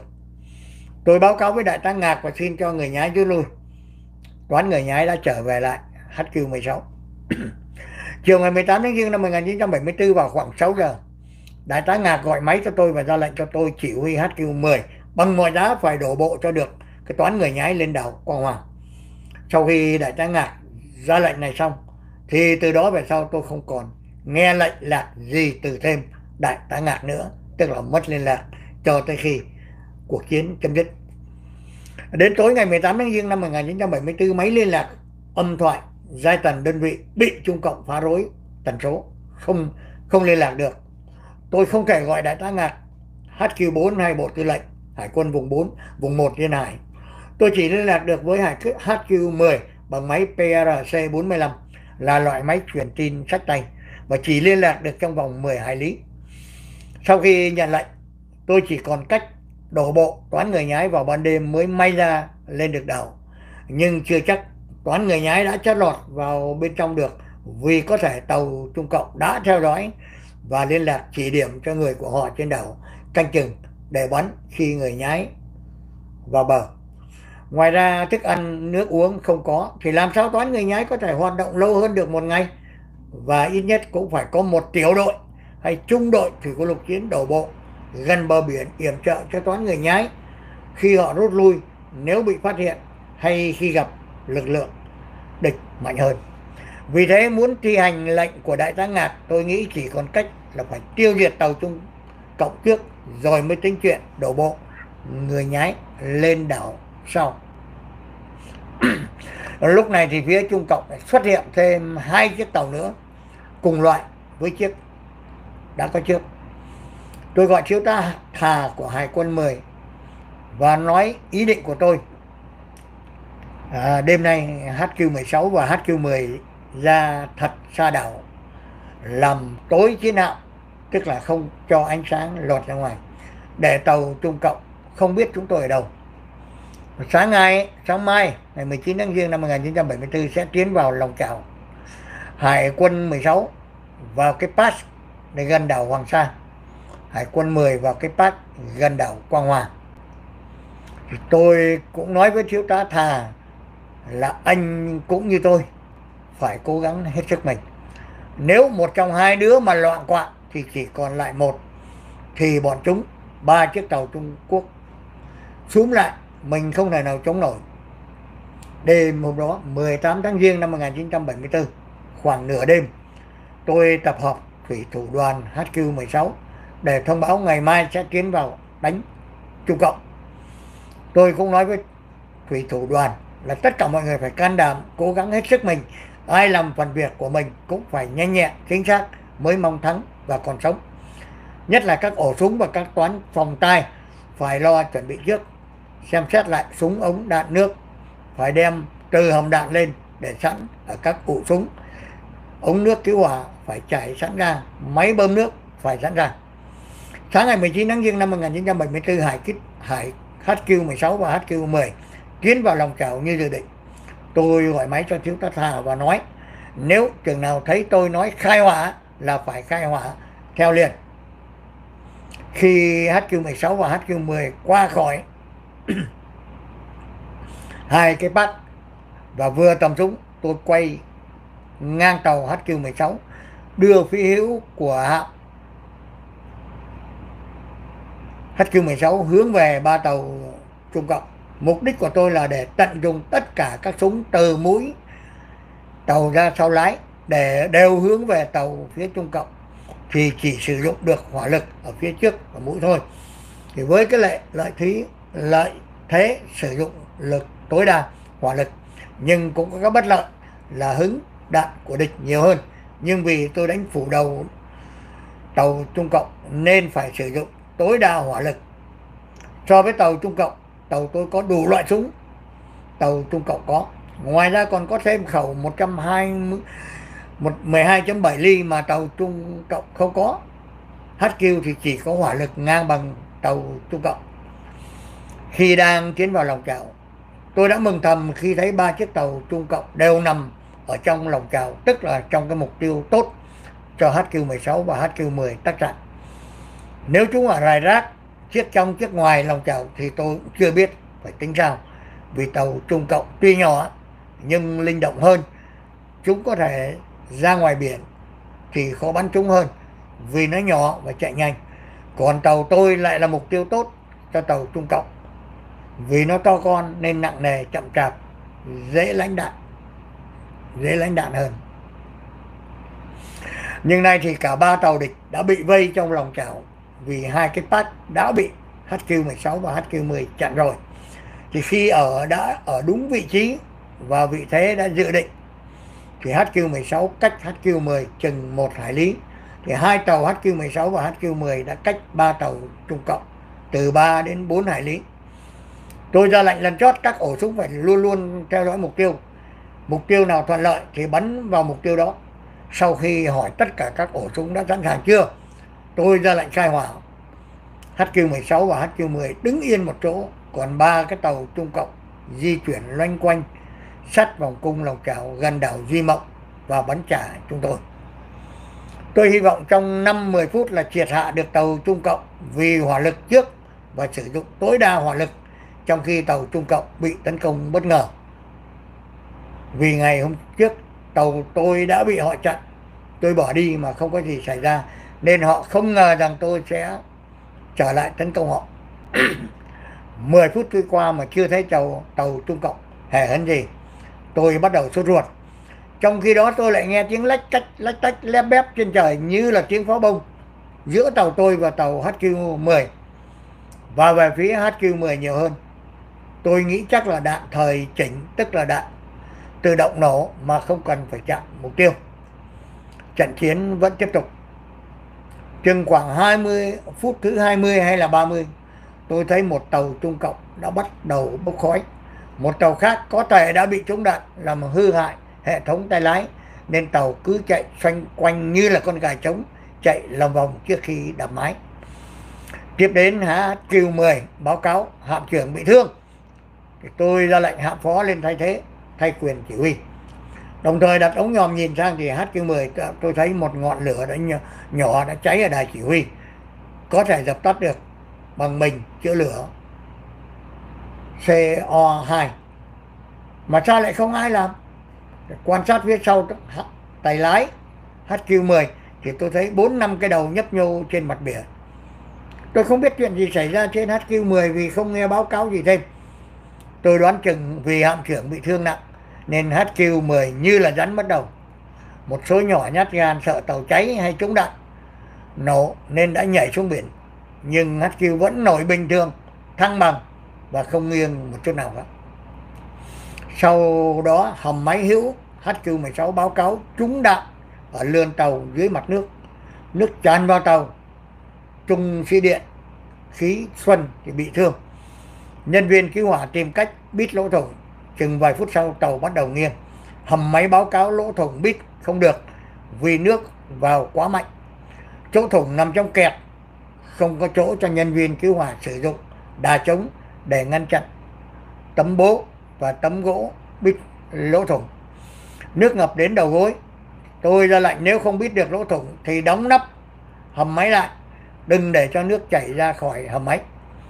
Tôi nhớ hầm máy hữu trúng đạn mà trong bài viết của ông dân thì lại nói là hầm máy tả. Tàu chỉ còn một máy tả và một máy điện. Phòng vô tuyến liên lạc truyền tin bị gián đoạn vì mất điện. Nhận thấy tình thế không thể tiếp tục chiến đấu được nữa, tôi vận chuyển tàu quay trở ra theo cái pass để rời lòng chảo. Cái pass đây tức là cái hướng cho tàu đi tàu mỗi lúc mình nghiêng thêm trên 10 độ. Và chỉ còn một cái máy trên nên vận chuyển rất là khó khăn. Hầm máy hữu báo cáo nhân viên phải rời hầm máy vì tàu sắp chìm. Thấy độ nghiêng của tàu đến mức gần hết độ an toàn, có thể tàu sẽ lật. Nên tôi ra lệnh cho toàn thể nhân viên vào nhiệm sở đào thoát vì sợ họ không còn thì giờ đào thoát kịp. Ra lệnh xong tôi nắm lấy cái tay lái, tiếp tục thay lái thay cho nhân viên ra nhiệm sở trong khi tôi đang lái thì đại quý hiệp, cơ khí trưởng chạy lên đài chỉ huy nói với tôi, vì sao hạm trưởng cho nhiệm sở đào thoát? Tôi đang ráng làm cân bằng tàu. Tôi nói là tàu mỗi lúc một nghiêng thêm, không biết sẽ lật chìm lúc nào nên phải chuẩn bị đào thoát. Lúc này tàu nghiêng đã đến độ bão hòa, tức là không nghiêng thêm nữa, vì nước đã vào đầy hầm máy. Thì tôi cho giải tán nhiệm sở đào thoát và vào lại nhiệm sở tác chiến lúc này ở đài chỉ huy có trung úy đoàn viết ất tôi nói với trung úy ất tàu nghiêng như thế này khó mà lái ra biển an toàn được tôi chắc phải ủi tàu vào đảo khí tượng tức là đảo Hoàng Sa để cố thủ và chờ HQ4, HQ5 đến tiếp viện. Thì Trung úy ất, Trung úy ất nói với tôi, xin hạm trưởng đừng ủi tàu vào trong đảo khí tượng. Mình sẽ bị Trung Cộng bắt làm tù binh. Làm tù binh Trung Cộng thì kể như là chết rụt trương trong tù. Không còn thấy cha mẹ, vợ con, quê hương và xứ sở. Xin hạm trưởng cứ lái ra biển, tàu có chìm thì đào thoát vẫn còn có cơ may sống sót. Nếu chết thì chết trên biển vẫn sướng hơn. Bây giờ viết lại câu này của Trung úy Ất, tôi vẫn còn xúc động đến chảy nước mắt. Nghe Trung úy Ất nói, tôi suy nghĩ thêm.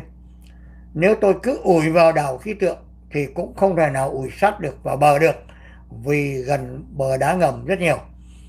Và nếu ủi, tàu sẽ mắc cạn, lươn tàu sẽ bị đá ngầm rạch nát nước sẽ vào thêm và tàu sẽ hoàn toàn tê liệt mà thủ thủy đoàn thì cũng không thể nào lên trên đảo được do đó tôi tiếp tục lái tàu ra khỏi Park đồng thời ra lệnh nhân viên hướng súng tàu về phía đằng sau và về phía quần đảo Hoàng Sa để canh chừng tàu Trung Cộng truy kích theo. Khi rời khỏi Hoàng Sa thì tôi hết sức ân hận đã bỏ lại trên đảo một toán nhân viên 8 người do Trung úy Liêm chỉ huy khi có lệnh đưa nhân viên lên giữa đảo. Trung úy Liêm và toán nhân viên đó sau đó đã mạo hiểm vượt biển bằng bè vì không muốn Trung Cộng bắt làm tù binh. Sau hơn 10 ngày lênh đênh trên biển, bè trôi về tận ngoài khơi Quy Nhơn và được ngư phủ cứu và đưa vào bệnh viện Quy Nhơn cấp cứu. Họ vượt biển mà không có chuẩn bị thức ăn, thức uống nên hạ sĩ quản kho Nguyễn Văn Duyên đã chết vì kiệt sức khi được đưa vào Quy Nhơn. Ra khỏi Bắc, tôi hướng tàu về phía Đà Nẵng vào lúc này khoảng 5-6 giờ chiều ngày 19 tháng Giêng năm 1974.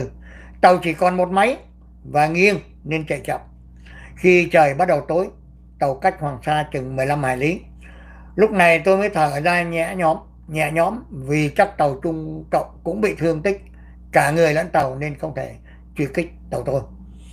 Bây giờ một mối lo khác lại đến với tôi là tàu có thể lật chìm bất cứ lúc nào nếu có sóng chết xuôi rất dễ làm cho tàu lật.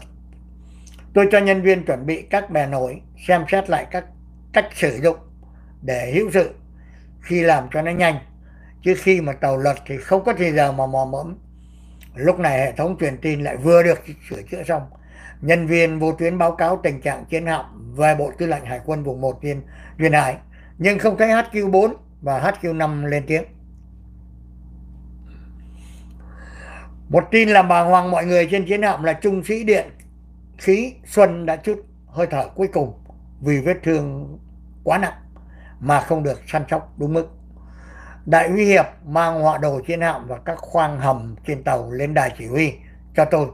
Biết đã làm cân bằng tàu bằng cách bơm nước và dầu từ hầm này sang hầm khác và dồn về phía tả hạm tả hạm. Nhưng tàu cũng không bớt nghiêng bao nhiêu. Đại uy đại uy hiệp nói, bây giờ chỉ còn cách bơm nước, ngọt và dầu ra biển thì may ra mới làm tàu bớt nghiêng xả nước ngọt và dầu ra biển thì tôi rất ngại.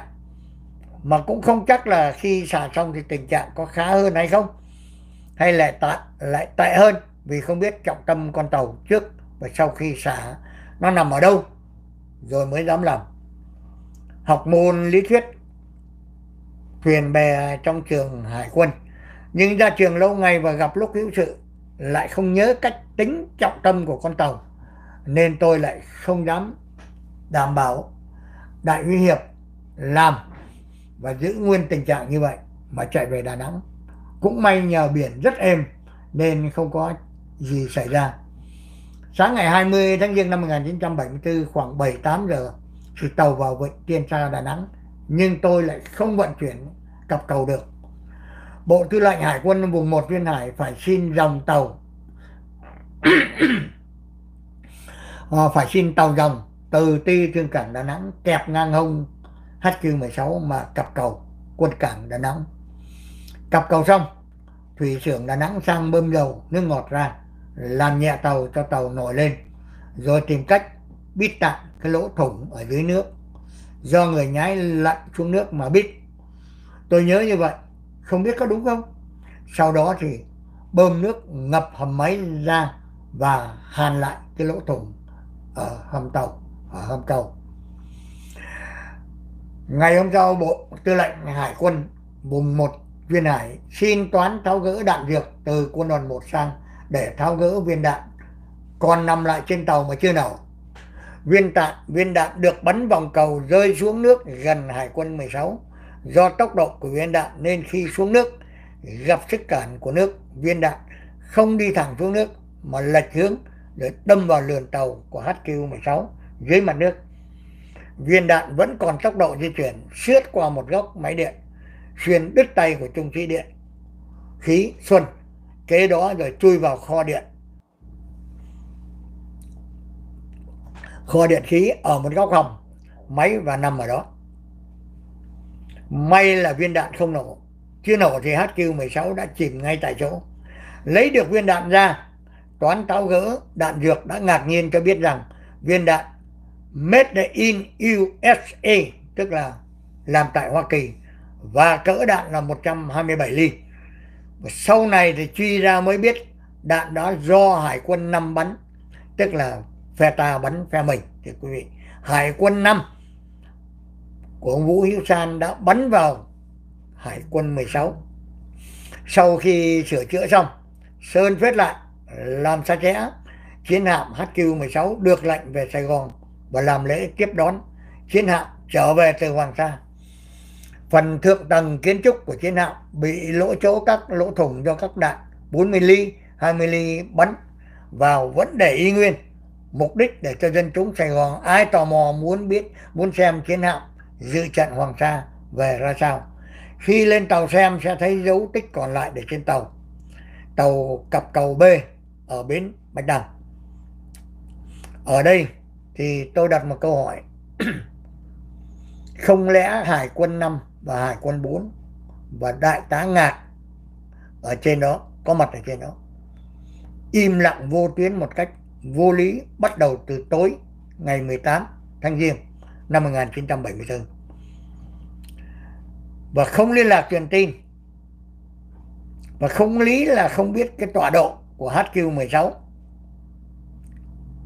chắc chắn họ biết vì biết như vậy, thành ra họ bắn cái viên đạn made in USA để nhằm triệt hạ HQ16 và HQ16 mà bị triệt thì HQ10 cũng bị, bởi vì bằng chứng là ông hạm trưởng HQ10 đã bị đã bị chết rồi. Chúng tôi xin đọc tiếp. Đây là một âm mưu tay trời của bè lũ Nguyễn Văn Thiệu, giết hại anh em hải quân tôi xin trân trọng và nghiêng mình kính cẩn trước linh hồn hương hồn của 70 74 người chiến sĩ Hải quân Việt Nam Cộng Hòa. Các bạn đã bị bắn đứng, các bạn các bạn đã bị hy sinh. Tôi đọc tiếp. Sau khi sửa chữa xong, Sơn viết lại làm sạch sẽ chiến hạm HQ16 được lệnh về Sài Gòn. À cái này đọc rồi. Trong buổi lễ tiếp đón, tôi cùng 4 năm nhân viên được tư lệnh hải quân gắn huy chương. Sau buổi lễ, dân Sài Gòn được lên xem tàu và phóng viên BBC là ông Tôn Thất Kỳ phỏng vấn tôi. Ông hỏi tôi có thấy máy bay phản lực của Trung Cộng dự chiến trong trận Hoàng Sa không? Tôi trả lời là tôi không thấy. Thì ngay ngày hôm sau, khối chiến tranh chính trị Bộ Tư lệnh Hải quân, lúc đó là Đại tá Trần Văn Triết làm trưởng khối, thì phái một thiếu úy hay trung úy mà tôi không nhớ tên hay cấp bậc xuống HQ16. Anh ta nói với tôi, tại sao hạm trưởng trả lời phỏng vấn đài BBC là không thấy phản lực cơ của Trung Trung Cộng? Tôi trả lời, vị sĩ quan đó, anh về nói lại trên bộ tư lệnh là tôi không thấy nên tôi trả lời là không có. Nếu bộ tư lệnh không muốn tôi nói thì phải báo trước cho tôi biết. Tôi nghĩ nguồn tin này do đại tá ngạc báo cáo về bộ tư lệnh hải quân nên bộ tư lệnh hải quân muốn tôi trả lời phỏng vấn cho phù hợp với nguồn tin cũng như đại tá Ngạc báo cáo về Bộ Tư lệnh Hải quân. Hải quân 10 và Hải quân 16 bị mất tích. Lúc Hải quân 16 về tới Sài Gòn, tôi nghe nói lại, không biết có đúng hay không, là khi nhận được tin HQ16, HQ10 bị mất tích, thì đại tá Võ Sum, trưởng khối truyền tin Hải quân, đã dùng một con lắc, một loại dụng cụ cảm ứng để thử xem HQ16 còn hay mất. Tôi không nghe nói kết quả của việc dùng con lắc này. Thì đại tá võ sung khi qua mỹ thì ở san diego ông ta dùng gọi là cảm xạ học. Ông hay cầm cầm, cầm con lắc xong ông để ông bảo là cảm xạ học. Để ông tìm ra được những cái tư trường của những con tàu ở trong hải quân thì theo tôi, đại tá võ sung cũng lại là một tên lão cá trong ngành hải quân.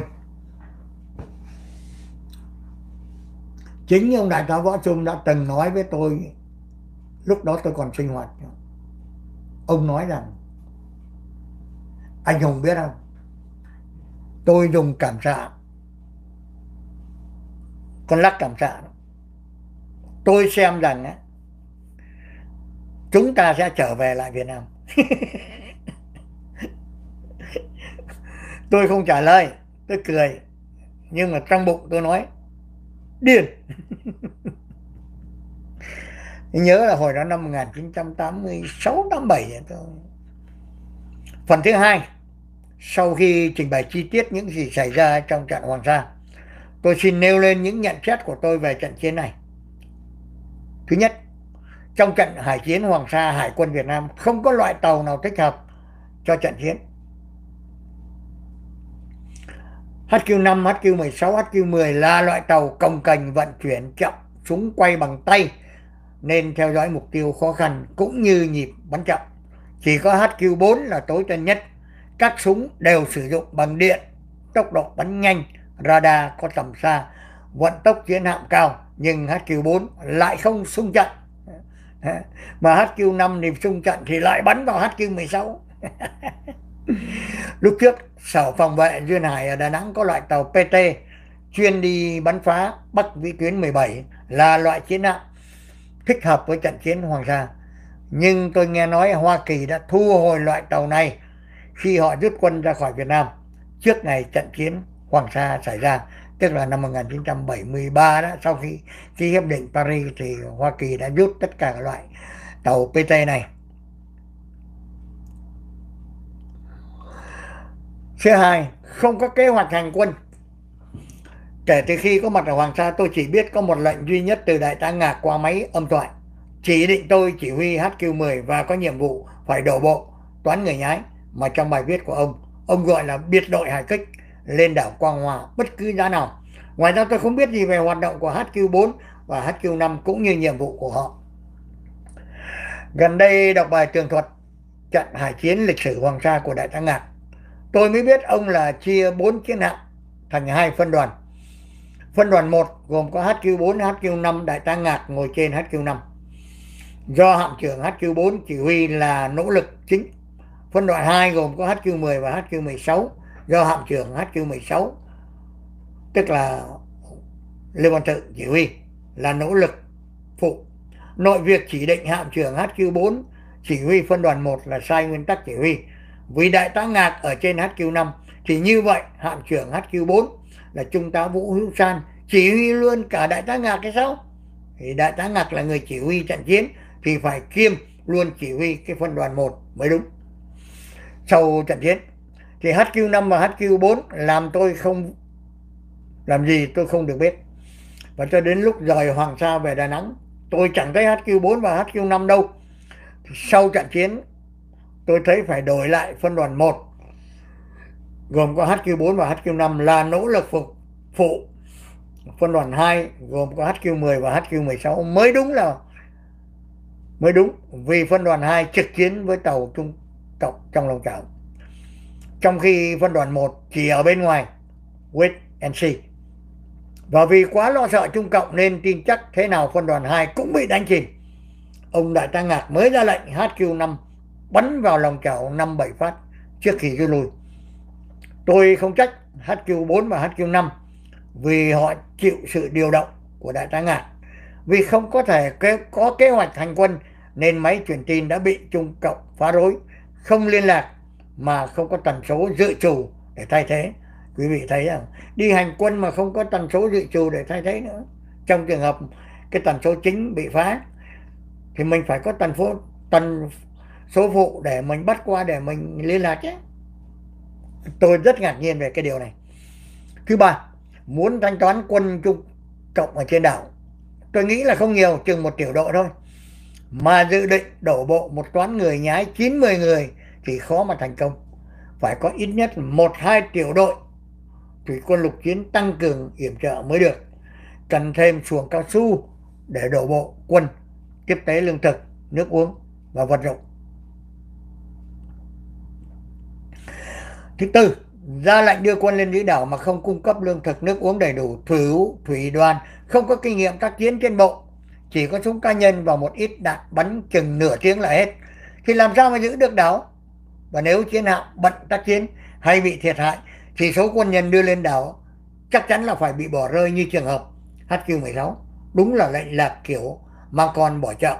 Phải có kế hoạch đưa bộ binh hay thủy quân lục chiến ra giữ đảo và phải có, có kế hoạch tiếp tế. Thứ sáu không có bác sĩ trên chiến hạm. Chỉ có y tá không có kinh nghiệm cứu thương cũng như người ngoài khả năng của họ. Nên ai bị thương thì khó mà sống sót. Thứ sáu trận chiến hoàng sa rất giản dị. Chẳng có chiến thuật gì rắc rối hết phức tạp ấy tôi chỉ cần khai thác sơ hở của ba chiến hạm trung cộng tập trung tại một chỗ trong lòng chảo để tấn công. Nếu một thủ thủy đoàn HQ10, HQ16 có kinh nghiệm tác HQ16 không bị trúng đạn của HQ5 và hạm trưởng HQ10 không bị thương thì chắc chắn ba tàu Trung Cộng phải bị đánh chìm. Tôi còn nghi vấn về hạm trưởng HQ10 bị thương là do đạn thời chỉnh của Trung Cộng hay là của HQ4 hay HQ5. Biết đâu được. Thứ bảy, sau trận chiến, Bộ Tư lệnh Hải quân hay ít nữa là Bộ Tư lệnh Hạm đội cần phải có một buổi hội gồm có các cấp chỉ huy, các đơn vị tham dự trận chiến để mỗi người trình bày những hoạt động của đơn vị mình, nói lên những nhận xét để rút kinh nghiệm học hỏi, cùng những đề nghị nếu được áp dụng thì trận chiến sẽ có kết quả tốt hơn để mọi người cùng thảo luận. Đằng này mọi chuyện đều cho trôi xuôi luôn. Bài viết của tôi đến đây xem như đã trình bày xong. Và trận chiến Hoàng Sa cũng như xin tiếp nối bài viết, tường thuật trận chiến hải, trận hải chiến lịch sử của đại tá Hà Văn Ngạc. thì à, thưa các bạn, bài viết của ông à, Lê Văn Thự đến đây là coi như đã xong ông ông phê bình tiếp về bài viết của ông đại tá Hà Văn nga. Thì ở đây trước khi chúng tôi đọc tiếp thì những cái gì ông thử viết lên đây đó, đó là câu trả lời. Bởi vì Nguyễn Văn Thiệu Hồ Văn Kỳ Thoại tất cả đã nhận lệnh yes sir từ cố vấn Mỹ. Từ Richard Nixon mày nghe tao nói gì không? Yes, sir. Vâng tôi đã nghe ông nói. Họ đã bán đứng bốn bảy mươi bốn người lính hải quân Việt Nam Cộng Hòa. Họ đã chết oan nước về những ma thuật chính trị về những cái tham úy sợ sống bởi vì Nguyễn Văn Thiệu từng tham dự vào cuộc đấu tranh ngày mùng 1 tháng 11 năm 1963 nên Nguyễn Văn Thiệu biết số phận của mình nếu mình không nghe lời cố vấn Mỹ thì mình sẽ lãnh cái hậu quả giống như Ngô Đình Diệu đúng không?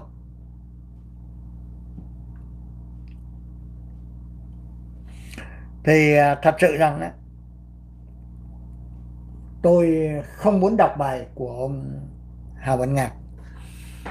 Mặc dù chúng tôi có 15 phút nữa. Nhưng mà chúng tôi nghĩ rằng nếu ngày mai tôi sẽ đọc thêm bài của ông Hà Văn Ngạc cộng thêm một bài của một vị sĩ quan hải quân. Bởi vì cái bài của ông Trần Hà Văn Ngạc nếu nói lên là một sự nhục nhã cho Hải quân quân lực Việt Nam Cộng Hòa.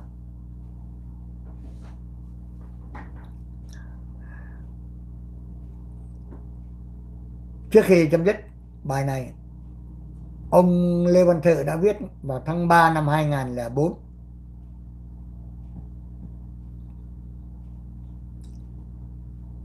tức là ngày 28 tháng 4 năm 2024 đã được đăng lại xin uh, thắp một nén nhang kính dâng lên cái hương hồn của hải quân trung tá lê văn thợ. Ông là một trong những người can đảm một những người hùng thật sự của hải quân quân lực việt nam cộng hòa. Bởi vì ông đã nói lên những cái sự thật phũ phàng trong trận chiến hoàng sa mà tôi là một đàn em cũng muốn tiếp tay với ông làm một cái video này để lưu lại cho hậu thế.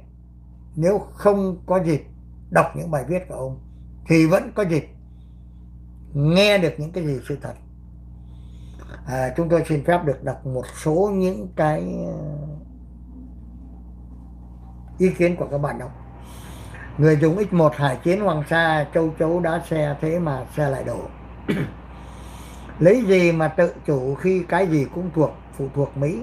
Không cho ăn là chết đói, không cho bú là lấy gì mà lớn? Nguyễn Văn Vân Vicky Lê là ba sọc à? à vâng bạn, Nguyễn Văn Vicky Lê là ba sọc. Hải Trần, chuyện mất Hoàng Sa là dông thiệu hèn nhát sợ bị Mỹ cắt đầu. Vâng tôi mới nói rồi. Hải Trần sau chiến tranh biên giới phía Bắc Đặng Tiểu Bình nhận ra rằng Trung Quốc phải hiện đại hóa quân đội thì tàu chiến của Trung Quốc năm 1974 không thể vượt qua chiến hạm của Việt Nam Cộng Hòa. Thì à, tương đương thôi. Thì cái HQ4 á, có có thể được coi như là cái tàu duy nhất mà có thể à, vượt trội tàu của Trung Quốc thì không tham chiến. cảm ơn Nguyễn Văn Vân anh hùng, dạo này vẫn mạnh khỏe như vâng tôi vẫn ờ, vẫn trong hùng, trong mạnh, trong lòng cộng đồng và vẫn nói mỗi đêm hai tiếng từ 9 giờ cho tới 11 giờ. Vicky Lê dầu sao, dẫu sao thì quân lực Việt Nam Cộng Hòa chiến đấu rất anh dũng từ thời 1954 đến 1975 còn trận Hoàng Sa 1974 này tôi không có ý kiến.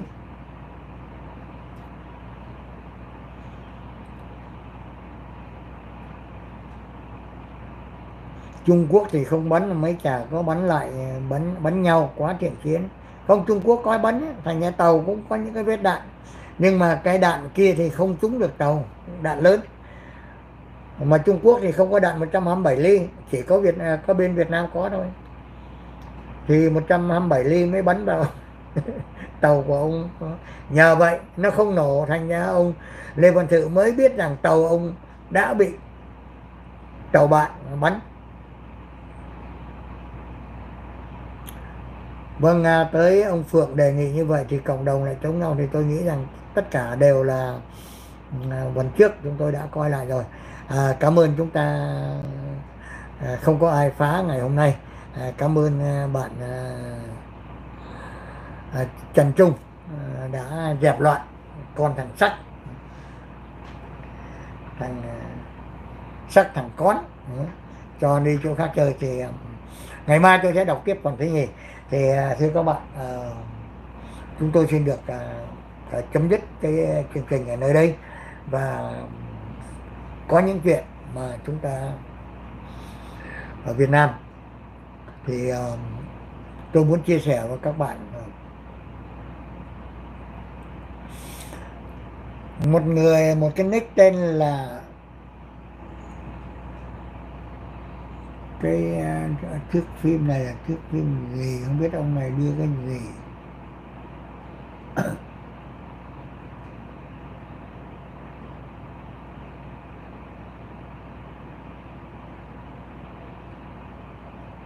À, cái này chắc là mấy cái vớ vẩn này.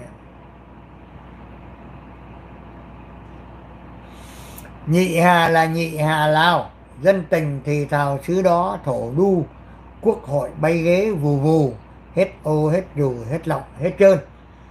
Thì à, của anh Nguyễn Phan Huy San.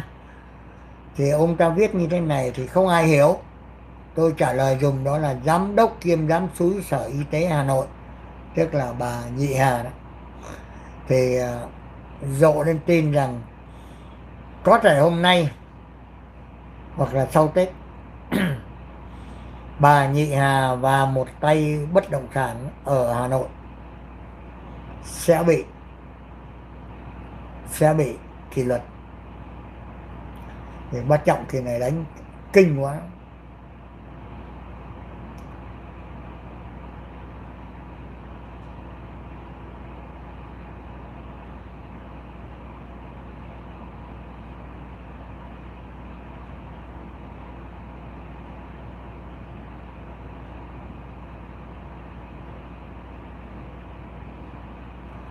Ngày mai tôi sẽ đọc tiếp cái phần à, thứ hai của ông đại tá Văn Ngọc, cộng thêm cái bài này, bối cảnh về diễn biến hải chiến Hoàng Sa 1974 của ông à, Carl Sutter viết về trận đánh quan chức Trung Quốc đã chết nhiều. bản tin của Đại Kỷ Nguyên 25.000 người tử vong mỗi ngày. Chuyên gia tiết lộ quan chức Trung Quốc chết cũng rất nhiều. Ngày hôm qua tôi loan tin ở khách ở bệnh viện Thượng Hải các bạn biết 15 vị đã bác sĩ chết vì Covid. Đây là hình ảnh Johnny Nguyễn tức là anh Linh Nguyễn. Người đã tổ chức cái à, đứng đơn xin cái uh, phố hội xuân chào anh à, Hoàng Thành Trinh chào anh à, Phạm Thông.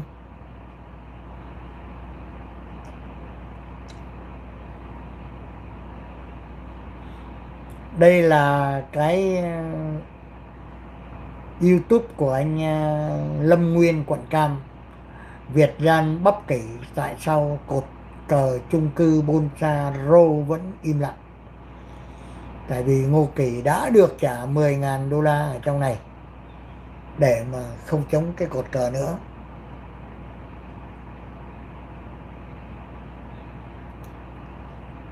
Tôi đã liên lạc với Nguyễn Hoàng Bách không biết ông ta đổi điện thoại hay không thì không thấy trả lời. À, mai tôi sẽ đi tìm số điện thoại của ông Bách.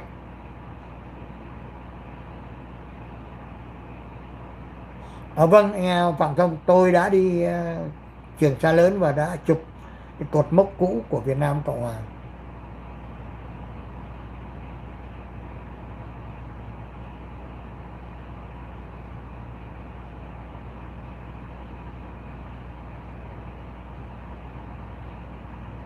Dạ không ạ. Em bây giờ em sợ bánh sinh lắm ạ. Không ăn xôi, không ăn nếp. Hồi này ăn ít lắm. À, xuống được khoảng à, 4 kg à. một năm nay xuống khoảng 4 kg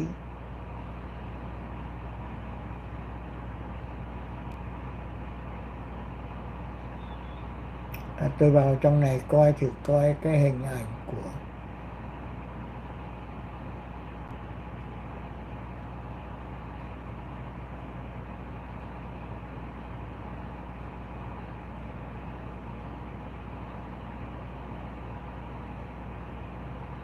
tôi có rất nhiều hình ảnh tư liệu.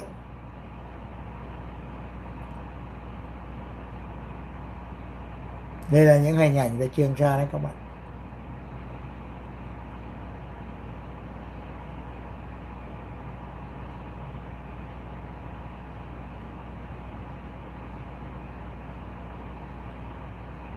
Ca sĩ Lệ Hằng đi thăm à, trường Dục Thanh ở Phan Thiết.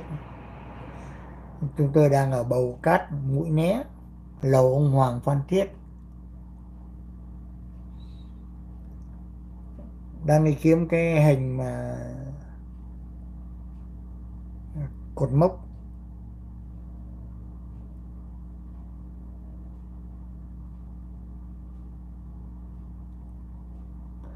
Tôi đã tham dự với lại ờ, bác Lê Khảo Phiêu, sư đoàn 304 sao vàng. 27 tháng 4 năm 2015 kỷ niệm 40 năm sau đó thì ờ, hình như là mấy năm sau thì bác mất.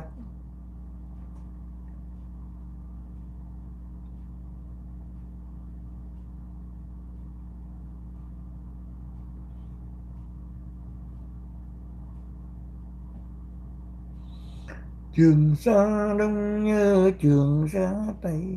Các bạn biết ai đây không? Nghệ sĩ ưu tú đấy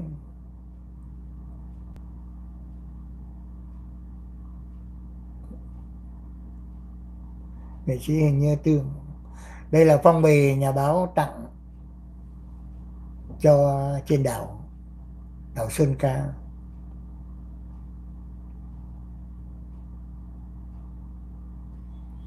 Ông Nguyễn Thanh Sơn mặc đồ tướng, mà thật sự ông là không phải là tướng, ông là tướng cướp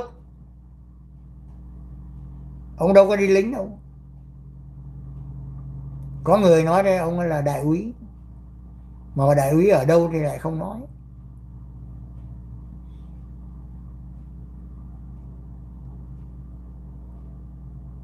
Đây là hình thác bản dốc đang kiếm cái hình mà lúc này anh anh Phạm Thông nói.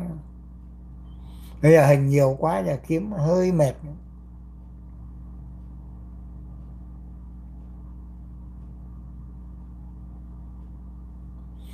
Năm 2012 nó nằm đâu trong khúc khúc này.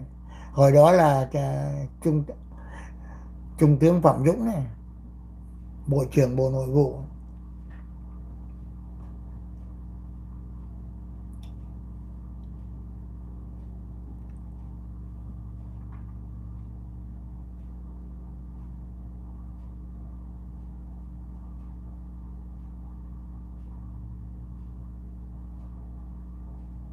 Quý vị thấy không? Nhà báo sáu mươi mấy tuổi. Tôi về Việt Nam lần đầu tiên năm 2012 năm đó là 66 tuổi. Đấy, đi biển như vậy đấy. Đây Vũ Hoàng Lân đang đứng này.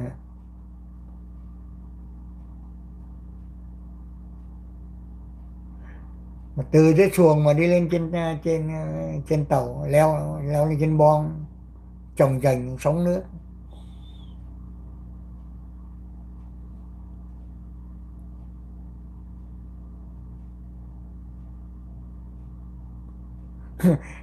anh em trên, anh em hải quân trên đảo. Chưa bao giờ gặp được một à, người à, Việt kiều nào mà đẹp như là ca sĩ Lệ Hằng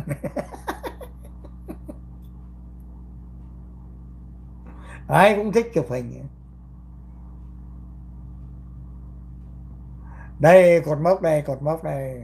Đây các bạn thấy rằng những cái hầm mà, cái hầm để mà chiến đấu đấy thì à, chỗ này đó là thường thường là để khẩu đại liên phòng không hay là bây giờ thì để à, tên lửa rồi, thay bằng tên lửa hết.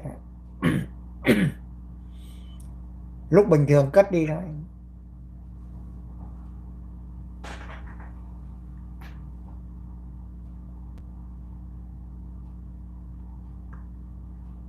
Phóng viên à, báo đoàn kết này đại đoàn kết.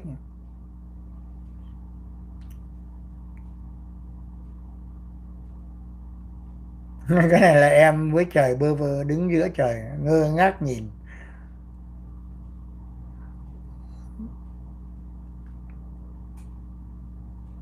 Đây là cột mốc cột mốc mới đó, sau này đó, xong từ tây đấy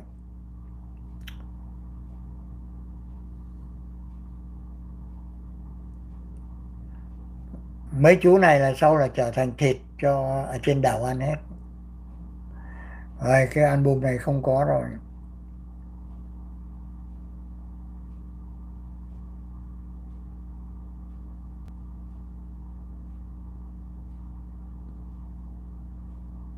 Hy vọng cái album này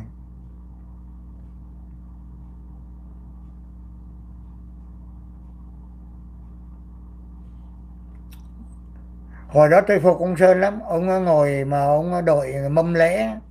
Ông đội cả nghe là nửa tiếng đồng hồ. Sau này biết là ông ngồi đồng quen rồi. Đây nhà báo mặc áo xanh này. hôm đó tôi cố tình mặc áo xanh này để hòa đồng cùng với lại màu xanh của trời màu xanh của biển màu xanh của anh em hải quân và màu xanh của à, trên đảo. Cây Ờ, nhà báo đang ờ, đóng một cái màn kịch để tưới nước vào cây bồ đề trên trên sau này cây bồ đề lần sau chúng tôi tới năm 2016 cao hơn đầu mình luôn. Lớn như thổi luôn.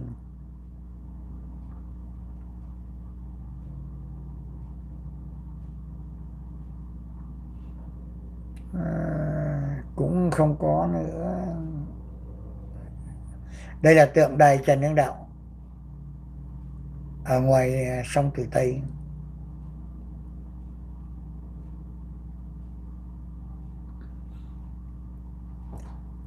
Trung tướng phạm dũng. Ở đâu ra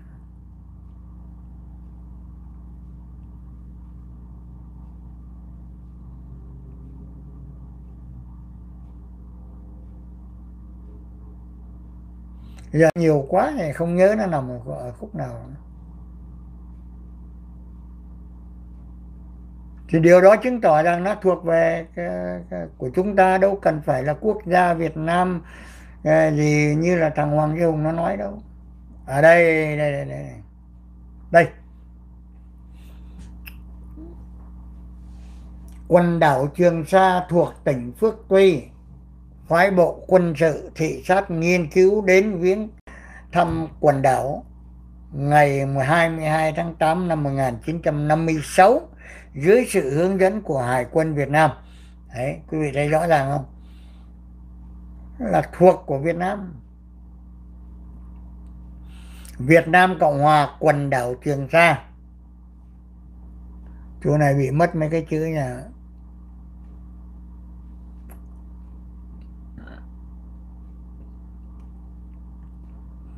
đảo vĩ ờ, vĩ ờ, tuyến ờ, vĩ độ gì đấy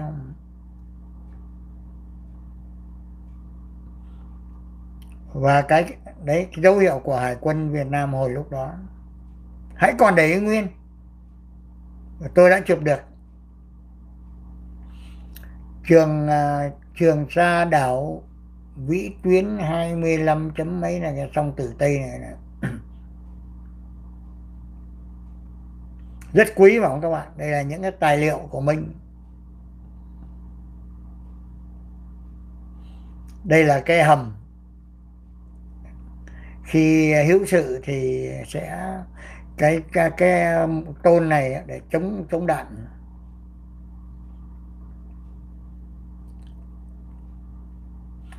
À đây là anh à, này là anh à, đạo diễn à, Liệt Tư của đài VTV 4 anh đã làm cái à, phóng sự về Trường Sa về tôi đó. Hai hai cái luôn. Mỗi cái khoảng chừng 20 phút.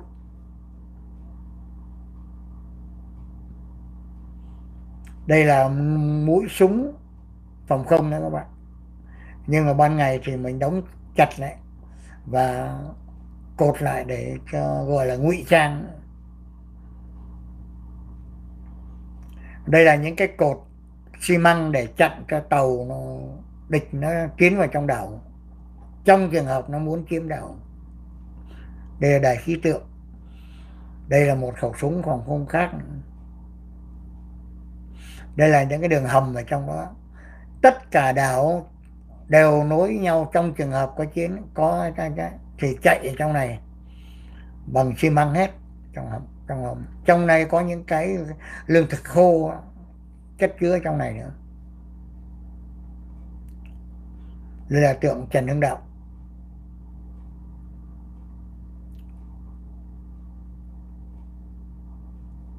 Vâng, xin phép à, được chia tay các bạn và hẹn các bạn vào ngày mai. À, cảm ơn anh Phạm Thông. Phải theo dõi nhà báo từ đầu mới biết nhà báo làm rất nhiều điều có ích cho Việt Nam. Tôi dám thách thức tất cả các phóng viên ở trong nước. Có đầy đủ hình ảnh ở Việt Nam không nói ở Trường Sa nha. Trường Sa tôi đi tới ba lần thì quá nhiều hình ảnh nhưng mà đó ở trong nước các bạn hàng sẵn trong nước các bạn có được những hình ảnh như tôi mà đã lúc nãy tôi mới chiếu cho các bạn à, mới cho các bạn xem một lô album tôi làm ở những nơi khác. Từ bên điện biên phủ qua tới bên ờ, quảng ninh qua tới hải phòng từ hải phòng dọc ra bờ biển vào tới phú quốc luôn. Tôi chưa đi đảo nam du và chưa đi bạch long vĩ đâu. Đó là hai cái, cái đảo tôi chưa đi. Còn hầu như là chỗ nào cũng có bước chân tôi kể cả côn đảo luôn.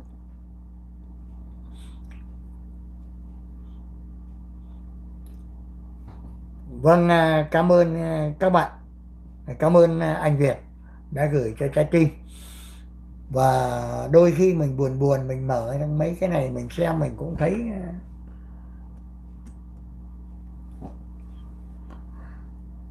bồi hồi lắm các bạn? Vâng, à, chuyện Việt Nam thì chắc là ngày mai cũng sẽ có một vài những tin. Hy vọng rằng là à, mọi sự lắng lắng lắng động, mọi sự lắng động cái việc của và nguyên chủ tịch nước Nguyễn Xuân Phúc thì tôi nghĩ rằng nhà nước Việt Nam làm hơi hấp tấp và quá nhanh nữa.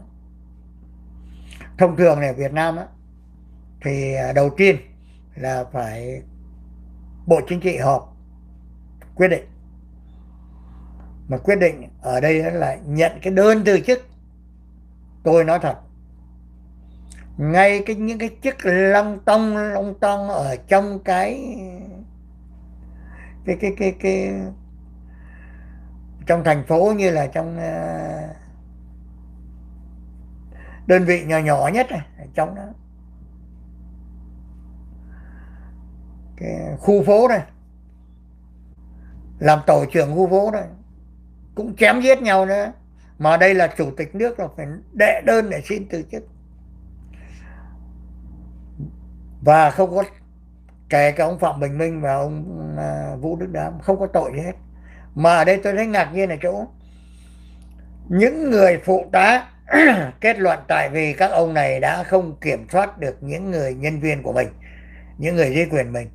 Thế nhưng mà ông Phạm Bình Minh và ông à, chính cả ông Nguyễn Xuân Phúc nữa, Vũ Đức Đam nữa. Không có quyền bổ nhiệm những người là phụ tá cho mình. Mấy ông này đâu có quyền bổ nhiệm đâu. Và cũng không có quyền xử lý nữa. Ai bổ nhiệm thì người đó xử lý. Thì ai bổ nhiệm? Quốc hội. Không được chế tài. Thì bây giờ dưới, cấp dưới họ làm sai thì lại bắt họ chịu trách nhiệm. Tôi thấy cái điều đó rất là vô lý. Tôi không chọn ông này làm phụ tá cho tôi. Mà tôi cũng chẳng có quyền hạn để xử lý ông này. Mà bây giờ ông làm bậy thì lại bảo tôi là phải chịu trách nhiệm. Các bạn thấy cái điều đó rất là vô lý. Và ngày mai tôi sẽ nói chuyện thêm về cái chuyện này. Vâng xin chào các bạn.